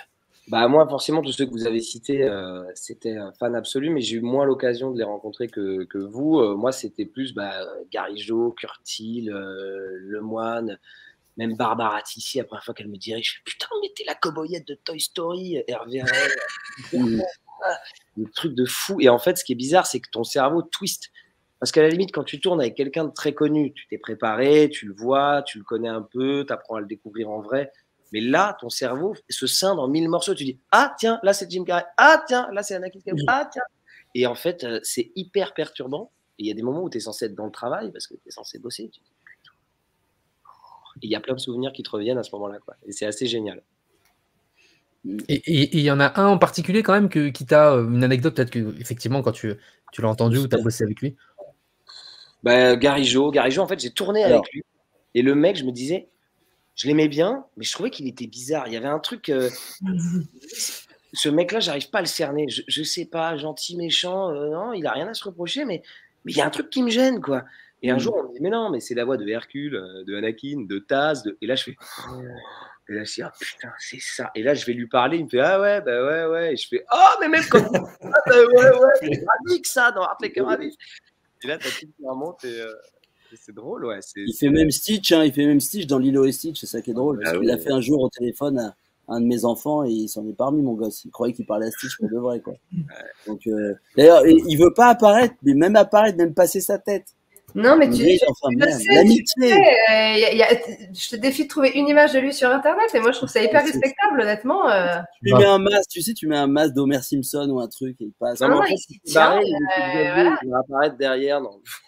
Et lui, fou. trouve, et je, je trouve qu'effectivement son point de vue est totalement respectable et je, je le rejoins là-dessus. C'est qu'effectivement, pour lui, on, comme on est au service des comédiens américains, on n'est pas censé euh, prendre la lumière en fait, on, parce que on, on- on- voilà, on est censé se faire oublier et leur euh, voilà. Donc euh, non, non, moi je, je trouve que c'est lui qui a raison d'ailleurs. Vous savez quoi, salut, je m'en vais. Là, ce serait, légendaire. Hein Non, mais après, après, il y a des comédiens que. derrière pas flou de toute façon, donc c'est pas grave. Non, mais après, il y a des comédiens qui. Derrière qui- qui- flou. Tu- att- Non, mais tu- après- Ah oui, tu disais quoi, Xavier? Attends, on t'a pas entendu. Vas-y, vas-y, vas-y. Pardon, excusez-moi. Ah non. non, rien. Non, mais je disais, bah, euh, bah, maintenant c'est réchauffé. C'est difficile de refaire le même truc. C'est plus dans le timing. Non, je Ah disais oui. que s'il passait derrière, il serait flou de toute façon. Donc, euh, C'est énorme ça. Ben, il est là, mais vous ne le verrez pas, il est dans le flou. Oui, remarque, ouais, tu peux lui dire qu'il passe, mais il est flou. les arguments. Non, non, mais il a beaucoup de talent, Emmanuel Garigeau, et, et, euh, big up à lui aussi. Je veux lui dire aussi, parce qu'en plus, c'est un super copain. donc. Bah oui, bah oui. Non mais, non, mais c'est, c'est, c'est, c'est marrant ce que tu dis, Ingrid, euh, effectivement, qu'il est, qu'il est fait. il- quelque part, il a, il a aussi raison, effectivement, et je suis 100% d'accord avec toi. Et, mais, et aussi, la dernière fois, je, euh, quand j'ai rencontré euh, Boris et, et sûr. Powell qui sont venus sur la chaîne, on a fait une- un podcast pareil et tout. Et puis ensuite, on, avec Boris, on s'est échangé des me- messages et on allait tous les deux à une convention, c'était au TGS. Et ils étaient là, eux, pour signer des autographes, mais il y avait la queue, quoi. C'est un délire, mais même, enfin, je veux dire, voilà, même, enfin, même votre métier, quand même, il y a, il y a des gens qui font la queue pour, euh, pour faire des photos avec vous, au même titre que d'autres guests qui étaient, qui étaient là. hein. C'est, quand même impressionnant. Ce... Et, et quelque part, ça fait chaud au cœur parce que même si on disait il n'y a pas de récompense officielle, il y a le public. Et le public, c'est la meilleure récompense, quelque part, de votre travail, parce qu'on sait que vous passez quand même du temps à faire tout ça. Et c'est, je pense que c'est, un travail très important. Moi, j'ai une remarque à faire, c'est que ça, la perception du métier euh, est devenue beaucoup plus favorable au cours des 20 dernières années, on va dire, parce que moi, quand j'ai commencé un peu à, assister au studio de, tu vois, j'allais aux, séances de doublage, à plein de gens, enfin, bah, par rapport au métier, de l'image et tout ça, il y avait une sorte d'ostracisation, c'était compliqué si tu faisais de la synchro, machin. Moi, je trouve que maintenant, ça s'est ouvert. Et euh, il y a des profils comme celui de Jacques France ou même de Nicolas Marié, il y en a de plus, souvent, plus en plus souvent. Un des mecs comme le petit là à côté de moi, là, Gauthier Batou, n'est-ce pas, qui fait les deux. En fait, le problème, c'est qu'effectivement, quand les mecs sont trop identifiés, ça peut nous donner un truc comme, euh, je sais pas moi, Depardieu qui double Kenneth Branagh. euh, du coup, c'est bizarre parce que du coup, on a du mal à créer la, la, la mix, le, le mix essentiel pour qu'on rentre dans, dans l'histoire. Mais je trouve que c'est bien effectivement que certains veuillent rester en retrait. Moi, je suis favorable à ce que, euh, voilà, que que- qu'ils fassent, en- qu'ils puissent aussi apparaître s'ils le veulent aussi. Euh, parce Ouais, que voilà. en plus, vous avez des bonnes gueules vous, donc ça tombe bien.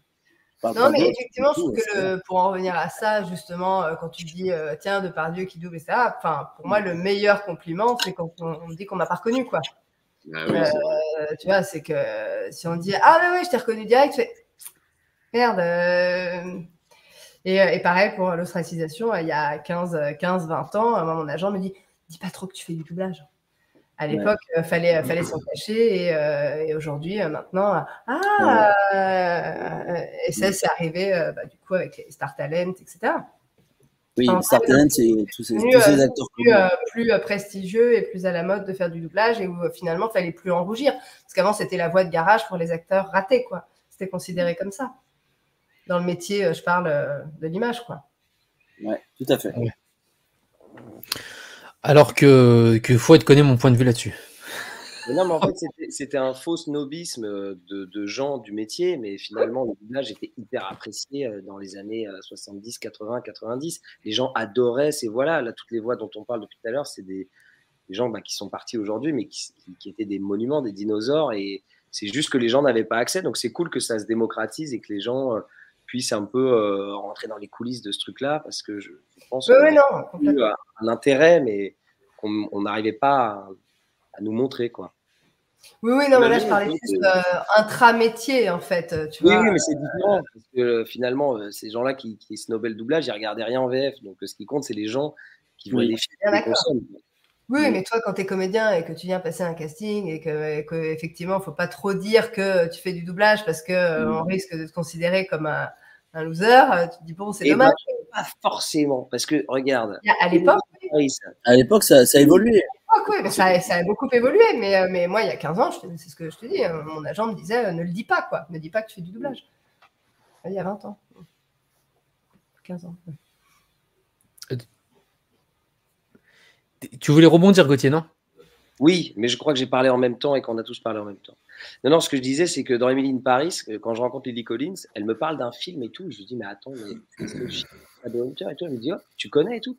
Je dis, bah oui, je doublais euh, tel mec. Elle m'a dit, mais c'est pas vrai, c'est mon meilleur pote et tout. Je dis, ah bon, mais j'ai doublé un autre film dans lequel t'es, c'est Tolkien, où je fais machin. Elle me dit, oh, you know Pat? Je fais, bah non, je le connais pas, Pat, mais euh, je l'ai doublé. Elle fait, oh my god, let's selfie. Genre, on fait un selfie, elle l'envoie à, son pote et à l'autre et tout. Bon, regarde, c'est ta voix française. Bon, je pense qu'ils en avaient rien à foutre, mais c'était quand même marrant. Et était contente de voir que, que le mec avec qui elle tournait pouvait faire des voix françaises. Donc même, même euh, en dehors de France, il y a, y a de l'intérêt, ça fascine les gens. hein. Oui, j'ai, mais souvent, euh, ceux, ceux qui ont pu rencontrer leur- leur- les acteurs qui doublaient, ont- ils, ont, ils ont ce respect-là quand même de. c'est- Je crois que c'est Poivet qui avait passé des soirées avec euh, Willis. Ah bah de. Et, et je crois qu'effectivement, il y a, il y a quand même ce, ce- ce respect. Ouais, c'est c'est normal. Alors attention, après, parce qu'aux aux États-Unis, euh, c'est pas si différent, parce qu'un mec comme Mark Hamill, pendant longtemps, il tournait pas beaucoup, mais il était très connu dans le doublage américain, vu qu'il doublait le Joker dans les dessins animés, et il faisait une carrière quand même un peu parallèle. Euh, même Kevin Conroy, qui faisait Batman, par exemple, qui a été doublé ensuite par Dar enfin, Darbois en France, je veux dire, c'est pas des mecs non plus à l'image qu'on a beaucoup vu. Euh, c'est dommage d'ailleurs pour dans le cas de, de Mark Hamill, qui était un peu cantonné à des, à des rôles pas à son niveau, je trouve, à Bah, l'image. Anaïs Skywalker, celle qui joue sa fille, c'est pareil, elle a fait essentiellement du dessin animé avant de jouer ce rôle-là dans les nouveaux Star Wars. Ah, c'est fou ça. Ouais, ouais, tiens. Et euh, ben, petit big up quand même à Donald, euh, qui c'est vrai, avec, avec son émission, il a, il, a, il a démocratisé quand même, c'est vrai, votre métier. Mm. À, à faire des plateaux comme ça, invités, euh, même à faire, euh, je pense que vous avez déjà peut-être été, certains d'entre vous, à vous faire rejouer des scènes et tout euh, sur son plateau et tout. J'ai vu quelques émissions, c'est l'exercice est cool. Mais d'ailleurs, là, il y a eu un- une campagne, euh, je crois que c'est sur Allociné, là, récemment. Ouais, j'ai vu ça. Pas J'ai même tout. vu, j'ai vu Adrien dedans. Ouais. Et oui, Adrien, t'es passé, ils t'ont fait redoubler les passages de Man of Steel.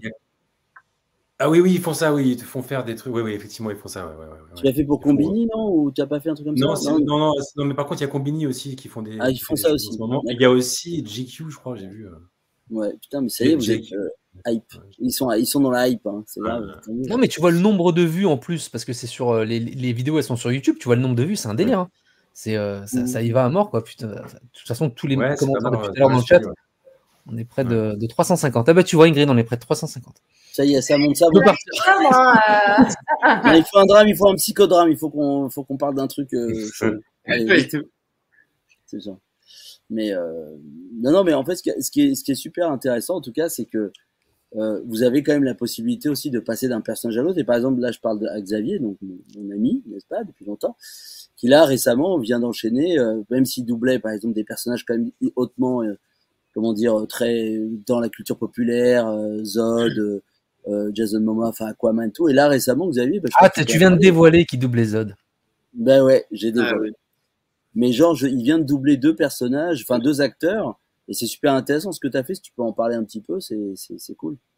Euh, là, dans les, de- les derniers que j'ai fait, là? Les deux derniers gros trucs que tu as fait qui sont pas des blockbusters, Ah oui. on va dire. euh, euh, Ouais, mais je sais pas si j'ai le droit d'en parler, en fait. Du coup. Bah si, Ah oui. parce que la- les bandes annonces elles sont sorties Pas déjà. sorti. Non, mais c'est pas ma voix dans les bandes annonces. Ah ouais, mais le film, si, si le film Ah. il est pas sorti, mec, tu peux pas en parler. Ah non, ouais, mais c'est juste dire que ah t'as ah, t'as parlé, ben je sais pas, je pensais que tu avais le droit de dire que t'as- tu Ouais. l'avais fait. Vous verrez bientôt. Mais c'est vrai que je me suis régalé à doubler ces films qui sont bien mystérieux. Imagine, il t'appelle demain, faut être putain avec ta connerie sur John A. TV, j'ai perdu le. Non, perdu- non, mais moi ce que je peux juste dire, c'est que je- t'étais excellent dans le Prestige quand tu doublais Hugh Jackman. C'est. Merde. C'est super. Bravo. Oui, et puis sur, euh, sur Van Helsing aussi, je crois. Y avait Van Helsing aussi. Great Showman aussi, Pan. Il y a quelques films. Ah, t'en as fait pas, ah ouais, t'en as fait pas Il mal. Hein, de- trucs, hein. Ah, vraiment, Ouais. il va bien avec Jackman. Vraiment, super acteur. Et Hugh Jackman. Et, et c'est c'est toi sur le. Il y a un nouveau film qui s'appelle. euh, Il est sorti, je crois, donc on peut peut-être en parler. The euh, Sun. The Sun. Non, il est, il est pas Et- sorti, justement. Ah, bon. On Mais je ne peux rien dire. Je vous dis que je ne peux pas vous parler. J'ai j'ai spoilé. Euh, moi, j'ai quand même une question pour vous. Avec l'avènement aujourd'hui, euh, parce que moi, ce qui est marrant, c'est que j'ai appris l'anglais. J'étais une bille en anglais. J'ai eu 40 ans euh, le 25 décembre dernier. J'ai 40 piges. Et j'étais une bille en anglais quand j'étais jeune. Et du coup, j'ai appris l'anglais en regardant. euh, C'était avec euh, au début des années 2000, euh, quand on téléchargeait sur merech.com, et avec les séries Lost, Prison Break, tout ça. Et je regardais tout en VO sous-titré français. C'est comme ça que j'ai appris l'anglais. Et c'est maintenant, je suis, je, suis- bilingue et tout, et c'est cool. Mais et, et- donc du coup, c'est vrai que notre génération à nous, elle parlait très mal l'anglais. On est d'accord pour dire qu'à l'école, enfin voilà, where is Brian? Brian, euh, open your book page, euh, tu m'emmerdes. Tu vois, c'était relou. Et, et par contre, avec, avec l'avènement des, des, des plateformes de streaming, il y a, il y a accès à tout, aux sous-titres, à, tous les doublages et tout. Et moi, je le vois même dans ma famille, mais euh, j'ai euh, mes neveux et nièces et tout, ils regardent en VO sous-titré français, quoi. Tu vois? Et ils sont devenus meilleurs en anglais, quoi, la, la, la, nouvelle génération, je trouve. On est en train d'avoir une nouvelle génération, j'ai l'impression, qui est, qui est meilleure en anglais que la nôtre. Bah, je crois qu'en Hollande, s'ils parlent tous en moyenne euh, entre 5 et 7 langues, c'est parce qu'il n'y a pas de doublage. Hein. en vrai. Voilà. Euh, si on voulait. Euh, c'est ça. Et donc, j'en viens à ma question. Des, des, langues étrangères, supprimer notre joli métier. Mais bon. Je vais interdire à mes enfants de regarder des VF. Non mais, justement, c'est là que je vais en venir. Est-ce que, y a pas, est-ce que vous n'avez pas peur? Parce que pour moi, la VF, c'est quand même l'exception française, c'est ce savoir-faire, c'est ce, ce, truc vraiment artisanal. Est-ce que vous n'avez pas peur qu'avec l'avènement, quelque part, de, de, de, de ce nouveau monde d'ouverture de, des langues et tout ça, et qui est quand même très inscrit maintenant en France, que bah, petit à petit, le métier de, doubleur euh, disparaisse J'ai plombé l'ambiance, mon frère. Moi, j'aimerais bien répondre que c'est une question. Moi, je, je, voudrais pas, je militerai contre. Euh, c'est une question hyper intéressante. Moi, je pense que le doublage n'empêche pas euh, de parler bien anglais ou d'autres langues. Euh, pas du tout, parce que tu as toujours le choix, mais même en ayant le choix, tu te rends compte que les gens consomment sur Netflix, sur Canal et au cinéma essentiellement de la VF, encore aujourd'hui en France. Mais par contre, le doublage apporte un truc qu'il n'y a pas dans les autres pays, parce qu'il faut savoir que la France est le pays qui double le plus de films, c'est qu'on est du coup des très grands consommateurs de ciné, de séries, de plateformes, de tout. Et le fait d'avoir une VF pour tout, parce que là on parle de l'anglais, mais tu n'as pas forcément envie d'apprendre le danois, le turc, le, euh, le fait d'avoir une VF, ça rend les films accessibles au plus grand nombre. Donc la question c'est est-ce qu'il vaut mieux des films de niche euh, tout d'un coup, il y a un distributeur dans un pays qui va se dire ah, on va prendre un film afghan parce que bon, film afghan, je suis pas sûr qu'il y en ait beaucoup en ce moment, mais c'est un mauvais exemple. Mais un film coréen parce que euh, je suis pas sûr que les gens prennent la peine de le regarder avec les sous-titres. Euh, c'est une sonorité dont ils n'ont pas l'habitude et tout. Peut-être que le fait de le doubler, ça va intéresser les gens à ce cinéma-là, ça va créer une fanbase et après les gens auront le choix de regarder en coréen, en français, mais en tout cas c'est une ouverture.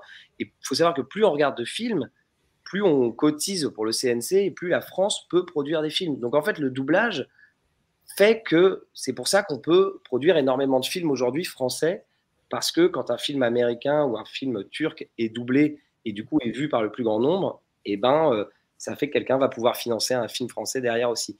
Donc c'est, pour moi, c'est un engrenage qui est bénéfique et, ça n'empêche pas d'apprendre à parler une langue. Tu vois, toi, tu es fan de VF et pourtant tu es, bilingue. Tu peux faire les deux. Donc moi, je c'est un faux problème et au contraire, c'est un avantage. Et moi, j'ai une remarque aussi, c'est que avec l'avènement des plateformes, il y a quand même eu comment dire, euh, une systématisation des doublages, euh, même des films français en anglais par exemple, et dans toutes les langues. C'est-à-dire qu'avant, il n'y avait pas de films qui étaient. Euh, regarde, ah oui, c'est vrai, on a les meilleurs comédiens de doublage du monde. Ça, c'est pour vous faire plaisir. Et comédiennes, je tiens à dire. Voilà. Vous en faites partie, les amis. Non, mais c'est vrai que maintenant sur Netflix, on peut voir un film doublé dans plein de langues différentes. Et, je me demande si ces plateformes n'ont pas créé la, la renaissance de l'industrie du doublage dans d'autres pays que la France. Parce qu'avant, vraiment, il y avait très peu de pays qui avaient cette tradition du doublage, quoi. Avant, il y avait des voice-overs plaqués de vence dans certains pays et tout. J'ai l'impression que maintenant, enfin, je il y a vraiment. Euh...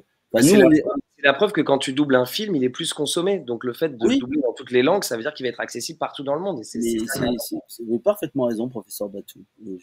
c'est très drôle. C'est quand tu as un pote qui est sur Netflix, c'est de passer dans toutes les langues différentes. Et tu ouais, moi j'adore. Surtout maintenant, je peux voir le travail des copains parce qu'avant, j'avais, je pouvais pas vu que je voyais tout en VO. Euh, même si j'étais fan, euh, enfin depuis quelques années, un peu comme Ingrid. Mais c'est vrai que maintenant, quand on me dit ah tiens j'ai doublé ça, bah c'est vrai qu'avec les plateformes tu peux faire un, un petit switch et voir tiens comment ils ont fait. Euh, voilà, non, non, c'est pour le coup, je trouve ça assez vertueux, moi, pour le coup. Je, je, je, le fais souvent systématiquement. Je passe de la VF à la VO parce que j'adore le travail, j'adore voir ça. Ingrid, tu, voulais, tu, tu, voulais réagir, Ingrid? Non, non, je, je, te rejoins, Gauthier, sur ce que tu disais. Après, euh, quand tu dis oui, mais euh, peut-être qu'effectivement le, le, film coréen, si il est doublé, euh, il y aura plus de gens qui vont le voir.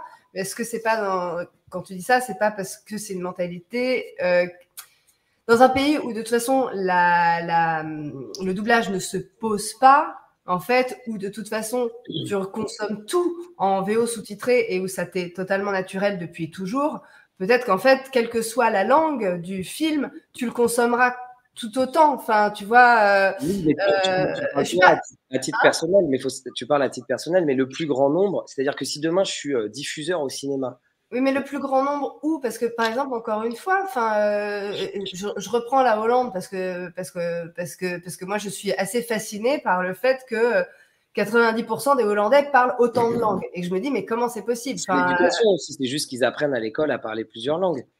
Euh, et regarde, quand un diffuseur, se- il, va, il va être frileux pour diffuser un film étranger parce qu'il va se dire, putain, si je fais pas de VF, il y a personne qui va y aller. Oui, mais parce qu'on est tu habitué à la VF. Si un VF, jour on n'est plus habitué à la VF et qu'on est habitué tous à regarder tous nos programmes dans la langue originale avec des sous-titres, la question se posera pas. C'est pas ce que je souhaite forcément, tu vois, mais je pense que c'est en fait une question de, de culture Moi, et d'habitude. Je pense que quand, un- quand, euh, quand euh, Warner Bros, par exemple, se paye une VF d'un film, c'est une assurance de rentabilité et ça l'empêche pas de diffuser ce film en VO en même temps pour ceux qui veulent. Mais alors qu'il avait diffusé que la VO, ça n'aurait pas été rentable. Je pense que c'est une vraie question de rentabilité et qui permet de, toucher tout le monde et en plus de se payer des copies en VO qui sont euh, parfois déficitaires. Mais c'est la VF qui fait que ça existe. Après, il y a certains films qui cartonnent plus en VO naturellement et, et qui doublent vraiment Histoire 2, surtout pour les Blu-ray, les machins. Je pense pas que, par exemple, le succès de Parasite se soit fait essentiellement sur les copies VF, par exemple. Parce que vu que c'est un film qui avait la palme, euh, tu sais, le. Il y a eu la palme, ouais. Ouais, ouais, voilà, donc je pense qu'il y a beaucoup de films qui se rentabilisent par les Blu-ray et par la VOD. Donc, euh, ils ont intérêt à faire euh, cette VF. Parce qu'elle Il est pas mal ce commentaire. Je crois que les Américains n'aiment pas la Il a fait rire que moi. Moi, j'aime. j'aime... Eh ben, Euh, non, mais c'est vrai que c'est intéressant ce que tu dis, Gauthier, sur, euh, sur ce côté rentabilité, c'est intéressant. Mais euh, la projection aussi, et c'est pour ça que je posais cette question qu'à Ingrid, c'est aussi intéressant. Parce que peut-être que. euh, mais, euh, mais, après, il y a, il y a aussi le, le- le côté animation qui se pose. Et ce qui est cool avec l'animation, c'est que vous pouvez aller chercher plein. D'ailleurs, j'imagine que l'animation, c'est quelque chose que vous kiffez faire. Ouais. Vous éclatez peut-être plus la plupart des, des comédiens. Toi, Adrien, tu as fait un peu, as fait de l'anime aussi? Ouais, j'ai pas mal d'animes. Après, je sais pas. Oui, oui, je- je- j'en fais pas mal, ouais, ouais, c'est vrai. Bah, Tout le monde te Euh, kiffe en Batman, là, depuis tout à l'heure dans le chat, dans les jeux vidéo, tout ça, ça n'arrête pas. Mais c'est vrai qu'en fait, t'as en fait, t'as plus été Batman que Superman. C'est fou, ça, quand même. Ah oui, Parce oui, que oui. entre le jeu vidéo, euh, les animés de Batman, c'est impressionnant, quand même. Ouais. Bah ouais, en- et en plus, t'as- en plus, et en plus, t'as le truc pour toi, c'est que la voix de Batman dans moi, mon animé préféré ever, celui des années 90 avec Darbois, sûr, avec et toi derrière qui a repris le flambeau, quoi. Donc c'est quand même, euh, c'est sympa. Bah, ça fait oui, c'est un honneur. C'est ça. Je, je Et- tiens à c'est pas forcément facile hein, d'être. euh, Non, mais je tiens à dire qu'il n'existe nulle part ailleurs dans le monde un mec qui est à la fois Batman et Superman, quand même. Faut le dire. Parce que C'est vrai, que c'est bien le doublage.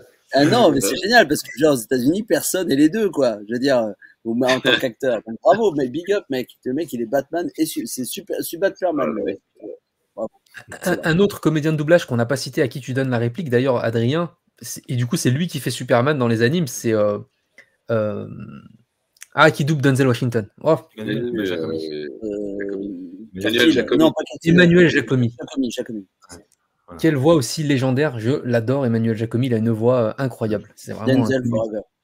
Ah ouais, c'est c'est voix, c'est c'est fou quoi. C'est Denzel Forever. Et d'ailleurs, il y a des films de Denzel que je mate avec la voix d'Emmanuel Jacomi parce que parce que c'est le travail est, est énorme, énormissime quoi. C'est c'est de la folie quoi. Je sais qu'on adore euh, Denzel en VO, mais euh, c'est vrai que le mec, il sort bien, quoi. Ouais, ouais. Et j'ai et été voir Denzel au théâtre quand même, tu vois. J'ai été le voir jouer, je lui ai serré la pince et tout, tu vois. J'étais comme ça, ah Denzel Moi je suis fan de Denzel, tomber, tu vois. Ah, euh, Mais, mais, mais j'adore voir euh, Emmanuel Jacomi doubler Denzel, quoi. C'est euh, laisse tomber. C'est, euh, il me fait kiffer. Et là, il n'y a pas d'histoire de, vous savez, parce qu'il y a eu souvent eu cette histoire de, de la couleur d'un comédien. Est-ce qu'il peut doubler euh, Est-ce qu'un est qu'un comédien euh, d'origine africaine doit doubler un comédien afro-américain et, et- etc. Ouais, tu vois c'est- C'est récent et je crois que Jaco, il s'est fait euh, sortir euh, d'un comédien. euh, Ah bon? Ah ouais Justement, là, quand il y a eu, euh, quand, quand il y a eu toutes ces histoires, euh, Ah ouais? Euh, je crois que Jaco, ouais, je sais plus sur quel comédien, c'est peut-être pas Denzel Washington. Est-ce que, euh, Ouais, c'est Ouais, pas Denzel. ouais. il y a eu, euh, il y a eu, Ouais, enfin, il y a eu pas mal de, de personnes qui se sont fait, euh, qui se Ah sont ouais. fait gentiment remercier. euh. Ah oui, maintenant, ouais. D'accord. C'est vraiment le truc le plus, euh, voilà, le plus stupide. Tu es gay, tu dois doubler un On est sur la chaîne et je, moi j'ose le dire, c'est vraiment, c'est vraiment fucked up quoi. C'est n'importe quoi ce genre de truc. Ils ont énormément de mal euh, pour les gens qui jouent des tueurs parce que les mecs finissent très vite en tôle en fait. Plus dispo, La enfin, base c'est de disponibilité. euh. Bah, le mec qui a doublé. Sur ouais, les studios en prison et tout, c'est tout un bordel. Ouais, c'est Ouais, ça, ouais, euh, Il y avait- vous savez, mais- Mais, mais, mais, mais Gauthier, tu viens de dire un truc de ouf parce que euh, vous sou- vous souvenez ce, ce film, euh, bah, vous vous en souvenez, euh, le, euh, ah, avec Omar Sy et. Euh, Oula. j'ai honte. Euh, non, mais le- le- et l'autre sur un fauteuil roulant. euh, Euh, infré- infréquentable. Non, Non, mais euh, juste, en, en fait, il y a- ils ont fait le remake avec euh, Brian Cranston et euh, je crois l'autre comédien. euh, oui, c'est un blague que j'aime pas trop. Oui, voilà. Et en fait, aux États-Unis, Brian, c'est Bill Burr qui est sur Netflix, qui est le meilleur humoriste du monde. Je l'adore. Et en fait, il, il démarre son stand-up comme ça et il dit, il me dit, on peut plus rien dire dans ce putain de monde. Il dit, c'est comme en ce moment. Ils ont fait chier Brian Cranston parce que il n'était pas handicapé et il jouait un handicapé. Et il disait, mais pourquoi tu prends pas un tueur, un tueur en série pour jouer un tueur en série Tu vois ce que je veux Ouais, dire? c'est exactement ce que tu dis. C'est aussi débile que ça, quoi. Tu vois, je te jure. Voilà. Et ça, ouais, bon, je, je le raconte très mal, mais je vous assure que c'est Et, euh, drôle. Non, mais Jean Baptiste, qui est un acteur euh, de, de cinéma euh, à l'image et un acteur de doublage. Il est noir et il a répondu à une interview super sur Combini où on lui pose cette question-là et il dit mais en fait, bah, il se trouve que parfois il y a des noirs qui vont doubler des blancs et ça va trop bien marcher. Parfois il y a des Bah blancs des noirs et ça va trop bien marcher. En fait, c'est une question de, de voix, d'énergie et il y a un moment faut, faut arrêter de Ah, se c'est si on est, très honnête, il y a moins de noirs qui doublent des blancs que de blancs qui doublent des noirs. c'est vrai. Il y en a moins, il y, avait- il y en avait quelques-uns. Il y avait Mike Adara qui à un moment doublé Courtney Cox et c'était euh, Ouais. Une exception. Ouais, dans Friends et dans plein d'autres trucs. Bah, dans Scream. Ah oui, elle est géniale. Elle, elle- elle- elle a fait, Mais mais elle a fait vraiment- Courtney voilà. Cox euh, incroyablement. C'est rare. Et Medondo aussi a doublé, euh, bah, des fois, par exemple, rappelle-toi Bishop dans Aliens, Ouais, non. tu te rappelles bien. De Lance Henriksen, c'était c'était lui. Et Ouais. puis il a doublé aussi le Mahatma Gandhi, quoi. Donc euh, attention, oui, c'est vrai. voilà. Donc ça arrive, mais c'est rare. Comme dit Ingrid, Ouais. c'était rare dans l'autre sens. dans Voilà, l'autre il, faut, sens. il faut être honnête. Bah, bien sûr, non, non, bah oui. Bah, ça, c'est clair. On a souvent eu les mêmes voix euh, euh, des, des comédiens euh, de doublage qui étaient, euh, qui étaient d'origine africaine, qui, qui, qui étaient pas beaucoup et qui doublaient tous les, les acteurs afro-américains du monde, quoi. Et Mm. d'où euh, cette voix qu'on a eue, putain, tellement iconique, mec. Est main. devenu un espèce de, de truc comme ça, quoi. Mais euh, non, c'est génial. Du coup, Gauthier, c'est tu, vraiment- peux nous spoiler, euh, tu peux nous spoiler euh, The Flash, du coup? Non, je déconne. Non. Mais film. par contre, je t'annonce, Gauthier, qu'il y a une attente énorme autour de ce film. Tu l'as vu déjà? Non, non, c'était c'était une blague. J'allais dire, en fait, j'ai vu le film. euh, Je peux vous spoiler la fin, mais il va falloir mettre des dons, euh, plus de dons. Ah, Ouais, alors, ah, ouais, oh putain, ne- attends, mais Gauthier, dis pas ça, parce que là, là je vais faire, mille- je vais faire, je vais faire 5000 balles ce soir. Alors, Mettez des dons, mettez des dons et vous aurez le scénario intégral de The Flash. Par contre, mettez-en beaucoup parce que je bosserai plus jamais derrière. hein. Voilà, et Gauthier qui prend sa retraite. Mais là, hein, t'as fait que le trailer pour l'instant. Oui, oui, c'est pour ça. Ça c'est sort en juin, j'imagine. D'ailleurs, avec Bernard Lano, excellent, qu'on essaiera peut-être un jour de- d'inviter ici aussi. Parce qu'il double. Alors, Michael euh, quel est le nom de ce comédien de doublage? Parce qu'on adore. Il y, a, il y a un autre. com- Il y, a, il y a quand même quelques voix comme ça encore qui sont là depuis très longtemps. Et il y en a un que j'adore. Je ne retiens jamais son nom et son prénom. Il Ah oui, double, vous vrai. savez, euh, Kevin Bacon et Kurt Russell. Qu'est-ce qu'on Philippe Vincent. Philippe Philippe Vincent. Oh. Ah, mais je l'ai vu au théâtre, mais oui. Attends, non, non, attends, attends, tu, attends, tu peux nous le refaire, s'il te plaît, Adrien? Il avait Philippe Vincent. Philippe Vincent. Le mec, il peut dire l'annuaire, ça, ça va le faire. C'est comme Richard. Mais attends, mais il a une voix. Mais C'est génial. merci. Et en ce moment, en ce moment, on a la chance. Enfin, moi, j'ai. Ah non, alors, oui, je, suis con, j'allais dire Xavier parce qu'on a fait tellement longtemps NCIS ensemble, mais Ah oui, Xavier, oui. il, il- malheureusement, il n'y est plus. Et euh, il, a, il a repris un rôle sur NCIS, donc qui est une série qui, qui- qui continue d'être doublée, parce C'est qu'ils produisent encore des épisodes depuis plus de 20 ans. Et il a repris le, le- le- le rôle du, du- du- du chef, en fait. Donc, je fais, euh, j'ai la chance de beaucoup bosser avec lui en ce moment. et Il est, il est génial. Il est génial. Il est génial.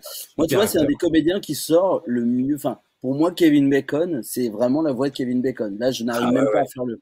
Je l'entends parler, je dis ah mais c'est Kevin Bacon en fait. Là, c'est incroyable. Ah ouais, c'est ça, non, mais c'est Il est c'est aussi subtil, c'est c'est l'air de rien, c'est l'air de pas y toucher, mais c'est toujours classe, c'est c'est- tu vois, Ah ouais, toujours non, dedans, c'est génial. il est génial. Il est vraiment impressionnant. Et d'ailleurs, je suis abonné à Paramount Plus et il y avait cette série géniale avec Kevin Bacon. Il y avait trois saisons. Ça s'appelle City on a Hill, euh, écrite par euh, Matt Damon et, et produite par Matt Damon et Ben Affleck, qui est incroyable, qui se passe à, à Boston et tout. Et c'est donc Kevin Bacon dans une série, tu vois. Et euh, donc il le double. C'est lui qui le double. Mais tu regardes le truc, c'est laisse tomber quoi. Ouais. Et, y a du, et en plus, c'est que des, des dialogues de ouf pendant tout le long de la série. Donc là, tu t'éclates. tu- Et j'étais comme, et je l'ai regardé en VF. Je l'ai pas regardé en VO. Et des fois, vous savez quel kiff je me fais, je, je l'avoue. Je me mets le truc en VF et je mets les sous-titres en, anglais. Ah, putain, Je- c'est drôle. Quel pervers celui-là. je fais rien comme les autres. Toi, rien Arrête de. Non, non, mais je le fais très souvent. Je mets systématiquement euh, les sous-titres en, en- en anglais parce que j'ai- j'aime voir aussi l'adaptation. Parce que, ce que- Et vous savez aussi pourquoi je fais ça? Parce que vu que tous mes interviews, je me casse le cul à les doubler, à, à- à les sous-titrer, Ah oui. et que on est un peu comme ça. La dernière fois, j'ai fait une discussion de plus d'une heure avec Casper Van Dien, euh, qu'on a vu dans d'innombrables films, et son réalisateur. Et donc, et on était en train de se charrier, tout ça et tout. Et, il fallait tout euh, sous-titrer. Et donc, du coup, je suis obligé d'adapter pour que ça ce soit super ludique à lire, ce soit cool, et essayer de faire, euh, de faire repasser les mêmes émotions euh, quand une vanne est faite, essayer de l'écrire de la même façon. Quoi. Et donc, du coup, bah, tu, je, fais, je fais le travail d'adaptateur. Je, je vais bientôt bosser sur des plateaux. je te jure. Mais non, mais c'est c'est un délire, hein, vraiment un délire, quoi. Il faut rendre hommage à ça. euh, Sur, dans la synchro, quand même, il y a quand même des fois des, enfin, il y a des super bons Des auteurs et des adaptateurs qui, qui font bien leur taf. Pas Ah ouais. courant, donc c'est vraiment des mecs qui sont balèzes. hein. Donc, euh, Ouais, c'est bien une bonne transition. Bah ouais. Et, et- et vous avez de la liberté sur les adaptations, des fois, quand un mot passe mieux, il vous laisse un petit peu, ouais, c'est c'est assez cool là-dessus, ou vous devez, c'est au cordeau, quoi, vous devez coller à tout. euh. Non, non, euh, bon, après, euh, Ça dépend, mais bon, globalement. si vraiment ça a été vérifié, que c'est très compliqué, que ceci, que Mm. cela, on peut faire notre proposition et puis euh, on enregistre le texte officiel de côté qu'on met euh, dans le chutier au cas où ils disent ah mais non mais c'était pas ce qui était écrit hein, nous on veut le texte euh, là mais d'une manière générale comme nos propositions nos propositions sont rarement moins bonnes Oh, hein, Surtout toi, surtout les tiennes, surtout les tiennes. Surtout les miennes évidemment Bah oui, enfin même, c'est quand même. non non mais euh, En fait, si, l'idée- si le comédien propose un truc qui marche mieux, il n'y a pas de. Ça, ça, Ouais. vraiment étudié, c'est Ouais, bon, et voilà. Donc il n'y a pas un contresens, quoi. Parce que des fois, ça, ça, ça peut, ça peut être gênant. ah, On mais va dire chic on tabac, hein. On va dire chic tabac au lieu de Chewbacca. Non, mais, non, mais c'est vrai que la- l'adaptation, c'est c'est- c'est le, c'est le, c'est c'est- c'est ce qui vient en premier, quoi. C'est comment je vais retranscrire, euh, parce que c'est c'est là, c'est là que passe l'émotion, c'est là que passe le phrasé, le rythme et tout ça. Et donc, euh, c'est super important, quoi. Et Ce qui est Tu drôle, vois, parce que pour en venir à ces histoires de track, euh, le fait que ça se réponde ou pas, ça passe par Ah, l'adaptation. Bien sûr. Exactement. Tout à fait. Voilà. Bah, t'as ta réponse. Mais je suis ravi. Mais quel- Super. Il y a quelqu'un dans le chat qui dit c'est Thor qui parle, j'hallucine. Oui, Et il parle je même vu. pas. Non, mais il parle même pas. C'est-à-dire que même quand c'est là qui parle pas, les mecs entendent la voix de Thor. Ça, c'est ça, génial avec Adrien. Le mec, c'est Thor qui parle pas, j'hallucine, ça aurait été génial. Putain, Je le fais de mec- la ligne, même sans parler. moi. putain, le mec, il fait Thor en silencieux, quoi. Et ça, c'est fort. Il y a que lui qui sait faire Ah, mais c'est incroyable. Ah, Il y, a- il y a du monde ce soir. Il y en a 320. Regarde, tu vois, c'est voilà, vous êtes, vous étiez attendus. Il y a du monde qui. 319, parce que moi, euh, je vais aller me coucher. Hein, les Ah bah oui. ah Désolée, Ah ouais, je l'avais dit déjà. Mais elle, elle a tenu. eh, elle a tenu. Oui. Jusqu'à 23h, mamie. Eh, c'était bravo. pas mal. Moi, genre, eh, big up, big up. Saluez votre compagnon parce que bravo, c'était pas gagné. Eh ben, Ingrid, je vais te, je vais te mettre en, en- en grand écran et je vais te laisser dire au revoir à tous, à tous ceux qui sont dans le chat et puis te, te, te, te remercier. Attends, regarde, hop là, Bon, Regarde. Euh, c'est pour toi. Bon, alors, euh, pour pas en frustrer quelques-uns, je vais essayer de me prendre dans mes médiums avec mon phrasé légendaire de Wonder Woman. Et je vais vous souhaiter à tous une très bonne soirée, une bonne nuit et merci d'avoir été avec nous ce soir. Je sais pas si c'est si Ah, si ça. on a reconnu direct. l'image, moi j'ai du mal à coller. Sur Mais, John euh, Ali TV, euh, John Ali TV surtout. Super. Je te remercie, cool, euh, et puis euh, c'était bien les copains de vous voir. Ben ouais. À bientôt. Euh, voilà, Ingrid, on te retrouve, euh, on te retrouve dans, dans, dans- sur nos étagères, euh, sur nos collections de films, au étagères. cinéma, partout. Et puis sur son Instagram, Ingrid Donadieu, allez vous abonner, bien entendu, sur les réseaux sociaux pour suivre un petit peu alors, je l'actu. vous promets pas mon émerveil, hein, je suis désolée, je suis pas très active, mais, euh, mais je serais ravie d'avoir plein de followers, hein, parce qu'on sait jamais, ça peut toujours servir. Alors attends, je te jure. Euh, Ingrid, merci à toi, merci pour Merci. ton temps et puis merci pour ta, ta, ta bonne humeur et ta joie et ton sourire ultra bright. Ça fait trop plaisir. Ouais, non mais c'est la lumière là, je crois que c'est bien comme fait. le teint rouge, tu vois, il y a un truc, euh, fallait choisir en fait, dents blanches, teint rouge ou euh, teint pâle, dents jaunes. Bon. J'ai choisi le rouge. Salut les copains. On t'embrasse. Ciao. À très vite. Merci beaucoup. Salut. Le chat est en feu parce qu'ils veulent tous que Adrien euh, dise je reviendrai. Alors, attends, alors attendez les gars, moi je vais, je vais, je vais vous le dire euh, comme si on était entre potes. Je, je, je, je veux pas faire le mec relou à vous demander, vous savez, une genre de réplique parce qu'on doit vous le faire, mais tout le temps, mon Et gars. oui, mais c'est. c'est- Donc si vous avez envie, vous le faites. Si vous n'avez pas envie, vous le faites pas. Vous emmerdez pas. Vous avez compris le chat? Eh, Qu'est-ce qu'ils disent alors? Attends. Ah non, il y a des gros mots, non, je déconne. Ah, il y a Ingrid, attends, il y, a- il y a un très beau, euh, si Ingrid nous regarde, non, Ingrid Donna DS, c'est très gentil. Pas mal, Jean-Michel Oh. Joliot. Bravo, Eh, monsieur Spartam, bravo, Ah, très joli. C'est c'est vrai C'est que c'est très joli classe. dans les oreilles, ça fait des flammes. Non, non, mais c'est vrai que c'est c'est la classe. Tiens, regarde, il y a Laurie pour, euh, qui dit, Ouais, Adrien, Superman, le rêve. Voilà, c'est vrai. Putain, mon gars. Ouais, ouais. Ça, ma- malheureusement, c'est fini Superman, mais bon. c'est- Bah, tu feras peut-être Superman Legacy, mais tu prendras une petite voix légère, tu sais, parce qu'ils vont Euh, Non, Adrien, c'est jamais fini, Superman. Vraiment, écoute, tu sais, euh, il peut y avoir encore des retournements de situation chez Warner. Tu sais, Henri Cavill, ils, ils le feront revenir dans, dans Flash 3, dans un multivers, tu Oui, verras, oui, tu sais.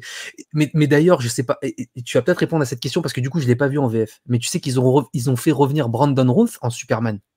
C'est pas dans vrai. la série. Dans, dans quoi du, Dans la, dans la série Supergirl. Et en fait, si, ils ont fait un crossover avec euh, Lois, euh, Cl- le, le Superman et Lois, la nouvelle série, avec Arrow, dans le Arrowverse, et avec euh, Supergirl. Alors, je sais pas si ça a été doublé en VF, mais est-ce que tu l'aurais redoublé?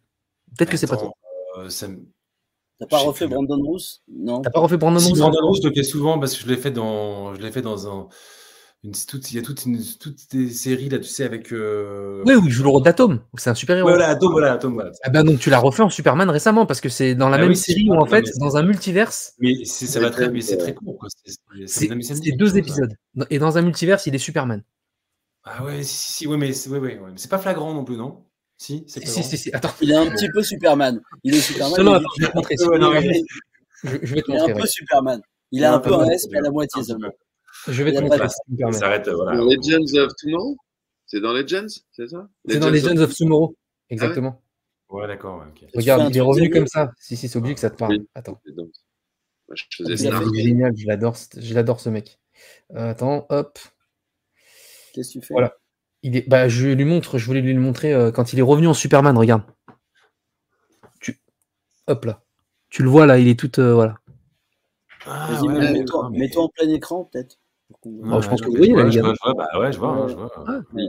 Il, il a Ouais, rejoué Superman et il était attendu parce qu'il y a le nouveau Superman, c'est vrai, euh, Taylor Hoechlin, et voilà, il a rejoué le Ah, Kingdom, le Superman Kingdom. Bah, c'était euh, en 2020, euh, 2019. Je vais dire 2022. c'est Ah en oui, non, 2019. c'est- ah oui, oui, d'accord. C'est non, mais c'est ça, c'est quand même. Ah oui, mais si, si, d'accord. Non, parce que je cherchais dans les dans les mois récents là. Non, mais c'est quand même ça. Il y a eu Ouais, ouais, c'est quand même 3-4 ans, effectivement. Mais du coup, euh, du, du- du coup, tu sais, euh, le, le job de Superman, à mon avis, il est pas trop, pas trop terminé pour toi, je pense. Ouais, ouais. Bon, écoute, on Et comment ça se passe si un jour ils font un crossover Thor face à à Henry Cavill Superman Alors là- mon gars. Ouais. Tu sais, ils reviennent tous les deux dans un monde parallèle, et là, t'es dans la merde. Tu sais que Georges Caudron, il avait fait dans un épisode de Sex in the City où il y avait Duchovny, et il doublait aussi, tu sais, le meilleur ami gay de, l'héroïne. Et du coup, d'un cut à l'autre, c'était Georges qui faisait les deux mecs, quoi. Il faisait carrément les deux, Ouais, ouais. Mais Ouais, euh, ça se Là, faisait beaucoup dans les deux 60. univers euh, très différents, Marvel et DC, quand même, normalement. Oui, je Oui. sais bien. Après, ça, c'est un fantasme euh, a Oui. priori iné- pas réalisable. Mais plein de gens imaginaient que, sais, un jour qu'il y a un, un deal entre Warner et Disney, que tu sais, Ah tout ouais. ça, c'est une histoire de thunes. Hein. Si un jour les mecs se mettent autour d'une table, tout, tout peut. S'ils savent qu'ils peuvent faire Oui, 3 bien sûr. milliards avec un film, genre Ouais, euh, Batman contre Spider-Man, ils vont pas se priver de le faire, crois-moi. Oh, mais ça, ça, ça existait dans les BD, donc ça se fera. Il y aura un BD, voilà, un jour, c'est sûr. Il y a Johnny. Henson qui dit, que- qui dit que c'est bien toi qui a doublé euh, euh, Superman, euh, enfin qui a redoublé Brandon Ah, Routh. Euh, voilà, tu vois, c'est bien toi. Merci. Merci au chat. Putain, ils le connaissent mieux. Non, non, mais non, mais maintenant, ça, le fait que ce soit il y a 3 ans, euh, 3-4 ans. Bah oui, ça- il y a tellement de. Oui, c'était c'était avant la période noire. C'était pas quand même très long, enfin, tu vois, c'était de, de peut-être de. Enfin, il me semble pas. Je Mm. pense pas que ça a été des très longues scènes, beaucoup de scènes. C'était plutôt un clin d'œil, quoi, qu'autre chose. Si, je me trompe pas. hein. Ouais, ouais, mais ça- enfin, mais il y avait quand même des scènes d'action, on le voyait au Daily Planet. Enfin, il y avait quand même. Non, non, Ouais, non, mais si, ça- non, mais ça, ça, en plus, ça, me- ça me parle, ça me parle. Et Xavier, toi, tu, du coup, tu sais que tu vas, tu vas rempiler sur Pandora là quand même. Ah bah oui, normalement, oui. pas obligé de nous le dire, mais moi je le sais. Je, Il a pas le droit d'en parler, mais moi, je peux parler. Moi, je Je sais pas, mais je pense que oui, c'est logique. Oh, mais Kovacs, il a tourné, enfin, Stéphane Lang a tourné dans le 3, donc euh, d'accord. normalement, sauf si tu refuses, toi, tu refuses Ah, d'apprendre non, non, non, mais il, y a- il y a- il va y avoir des. et Puis, et puis le 3, ça va être énorme. hein, Le 3 qui sort en Ouais. 2024, Mm. euh, Ouais, apparemment. Ça va être un Ouais. truc de. Après, il y aura peut-être une bascule dans le 3, euh, ça sera peut-être plus forcément Jack et euh, Neytiri, les- Ouais, ouais, je pense que c'est un moment, peut-être, euh, Ouais, mais euh, avec les enfants et tout. euh, Voilà. avec- Non, mais alors, alors, alors, attendez, attendez, attendez, justement, euh, non, ne, cro- ne croyez pas ça parce que, en fait, ce qu'il a fait, James Cameron, ce génie, il a Ouais. tourné le 2 et le 3 simultanément pendant 5 ans avec les enfants. Ils ont commencé en 2016 ou 2017 Donc, parce que, justement, vu que c'était un récit euh, qui continuait, il voulait pas que les enfants aient trop grandi pour pouvoir tourner le 3. Du coup, en fait, ils ont tous, en fait, ils ont tous fini le tournage il y a longtemps. Les... Donc, quand ils étaient en promo, là, rien que pour Avatar 2, ils étaient tous grands. C'est pour ça d'ailleurs qu'ils sont tout petits dans le film. Donc, du coup, en fait, c'est vraiment le, le, le 3 suit vraiment le 2. Et je pense que c'est à partir du 3, parce qu'ils ont même tourné le premier acte du 4, pour vous dire. C'est tout ce qu'ils ont tourné. Donc en fin de compte, il, il les a gardés, euh, il les a tout fait tourner en même temps, comme ça, il les garde dans la continuité du récit. Pas qu'ils aient grandi d'un coup dans le 3. Donc euh, en fin de compte, euh, il y, a, il y a encore petit sur deux à ans, d'après ce que j'ai compris. Ouais. Un sur deux ans. Mais euh, ouais, on a. Et euh, Gauthier, euh, super taf là sur la bande annonce là de Ezra Miller, tu sors super bien. je trouvais ça. Ah, merci, merci. Non mais hy- hyper poignant parce qu'en fait on sent la, le dilemme du mec, tu sais, qui veut comment dire rester dans le monde où il y a sa mère.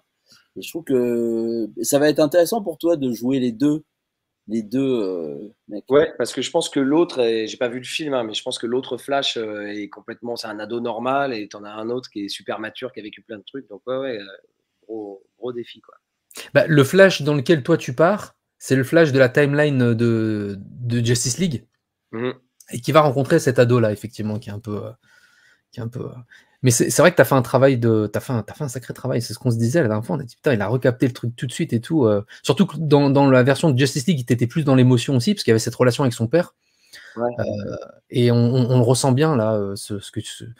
Bah écoute, tant mieux parce que j'ai pas, comme je disais tout à l'heure, j'ai pas fait le fier en arrivant sur le truc parce que c'est tellement, euh, c'est vraiment sur un fil quoi, ce, ce personnage et cet acteur. Donc euh, merci. Non, mais c'est vrai que Ezra Miller, il est, euh, il est un peu fou, il est incroyable. Il a eu quelques déboires là. euh, Quelques déboires. Bon. Non, mais d'ailleurs, John, j'ai entendu une rumeur, mais c'est peut-être Captain Morpheus qui a dit ça, mais il disait que ce serait peut-être le dernier film avec euh, Ezra Miller dans Flash. Qu'est-ce que tu as les mêmes sources que lui ou, ou pas? Écoute, en vérité, ce sera le dernier film avec Ezra Miller en Flash si le film se plante. Si le film Ouais, cartonne, ouais. ce sera pas le dernier film avec Ezra Miller.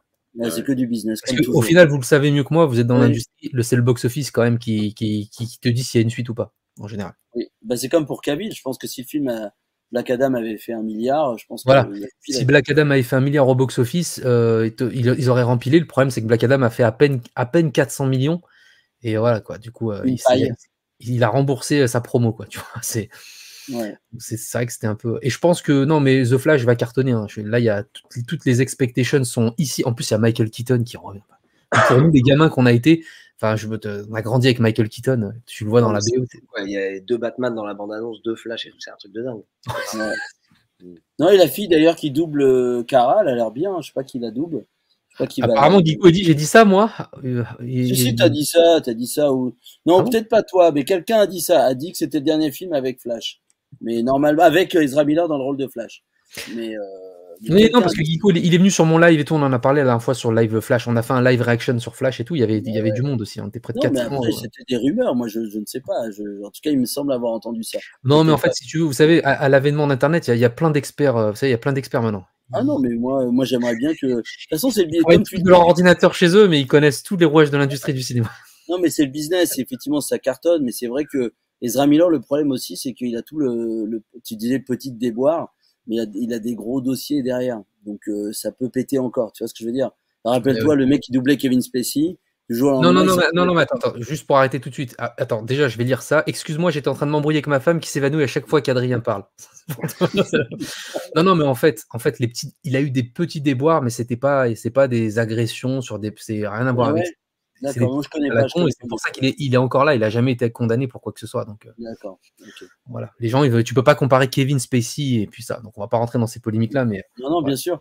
Et d'ailleurs, qui double euh, Cyborg? Parce qu'on n'en parle jamais de ce mec-là. ah oui, vous étiez quand vous êtes pro parti doubler euh, Justice League, les gars, euh, qui double Cyborg? Est-ce que vous vous rappelez? Vous l'avez peut-être jamais croisé. Parce qu'il a fait un super taf. C'est pas Jean-Baptiste. C'est un personnage. euh, C'est qui tu dis? Ray Fisher, ouais, Cyborg. Moi, j'aurais dit Jean-Baptiste Anoumon, mais je suis pas sûr. Non? Ah si, je crois que c'est lui. Ah, si, c'est si, il me Jean-Baptiste. semble bien. C'est vrai que vous l'avez pas fait en même temps en plus. Bah oui, Eh forcément. Eh oui. Ah oui. Et ouais.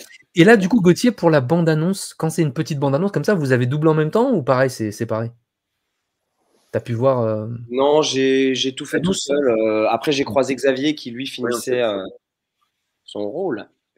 Qu'on ne citera pas, mais qu'on a cité 20 fois. Non, mais ça, Oui, oui, bah alors Xavier, oui, pour ceux qui nous suivent, c'est c'est lui qui, qui doublait, qui double Michael Shannon et, dans, dans Man of Steel. Man of Steel. et qui, le- qui va le redoubler euh, du coup dans The Flash parce qu'il y a des scènes de Man of, de, de Man of Steel qui reviennent. On revient à cette, tempora- cette temporalité-là, pardon. Et, euh, et voilà. Ouais, Et cool. Xavier d'ailleurs double aussi John Cena dans euh, The Peacemaker, c'est ça hein, C'est dans le Peacemaker et dans Non, Squad. dans Fast and Furious 9. Ah, Fast and Furious que tu, tu doubles pas dans, dans Peacemaker? Non. Ah, je pensais. Ah, donc il a plein de voix différentes, lui. D'accord. Oui, moi je l'ai doublé qu'une fois, quoi. Ah oui, tu l'as doublé dans Fast and Furious. Apparemment, c'est Mexianu Med- Mede- Medenu qui a doublé Ah, la Fisher. pardon, alors désolé. je- Mm. Ah, ah, Mexianou. Ah oui, oui, oui, si, si, si, si. Tu le connais? Oui, Désolé, on a. désolé. Bah oui, parce qu'ils ont pas doublé ensemble, hein, c'est pour ça qu'ils. Mais, mais c'est- il est génial. hein, et le Ouais. le taf qu'il a fait sur Ray Fisher aussi, qui était un personnage super développé dans la version longue, comme euh, The Flash. D'ailleurs, c'est eux deux en fait, hein, la, la clé de qui, qui save, euh, save the day à la fin de, du film. donc c'est vraiment génial. Euh, c'est- dur de vous dire bon, vous doublez quoi le prochain film parce que vous pouvez jamais en parler. Donc ça c'est toujours, c'est toujours. Mais est-ce qu'il y a des choses sur les planches, peut-être aussi en termes de théâtre? Est-ce que vous bossez Oui, sur vrai. trucs en Où ce est-ce que je vais être invité bientôt alors? Dites-moi. Euh, Xavier par exemple, pour commencer. Alors, moi, oui, moi j'ai un nouveau projet. En fait, on tourne une pièce en ce moment. On est en tournée avec La Cagnotte de la Biche, avec Vincent Ropion, euh, Christophe Lemoine, euh, Mégane Dandrel, Thierry Jeanne, Barbara Tissier ou Céline Ronté, et moi-même, et Julien Cibre parfois aussi, et, euh, et Philippe Bautier. Voilà, j'ai dit tout le monde comme ça. Mais euh, donc, euh, et je pense qu'il y aura encore euh, le Festival d'Avignon cette année, mais moi je ne serai pas avec eux, puisque je- moi je suis en tournée avec eux. On va même jouer à Casablanca bientôt. On va, on, on tourne un peu partout, c'est vachement sympa. Mortel. Euh, là, là, par contre, j'y vais. Mais après, normalement, euh, cet été, je vais commencer une nouvelle pièce. Mais je n'ai pas, effectivement, je n'ai pas vraiment le droit d'en parler encore. Mais c'est une, ce sera une comédie, une comédie à quatre personnages, deux hommes, deux femmes.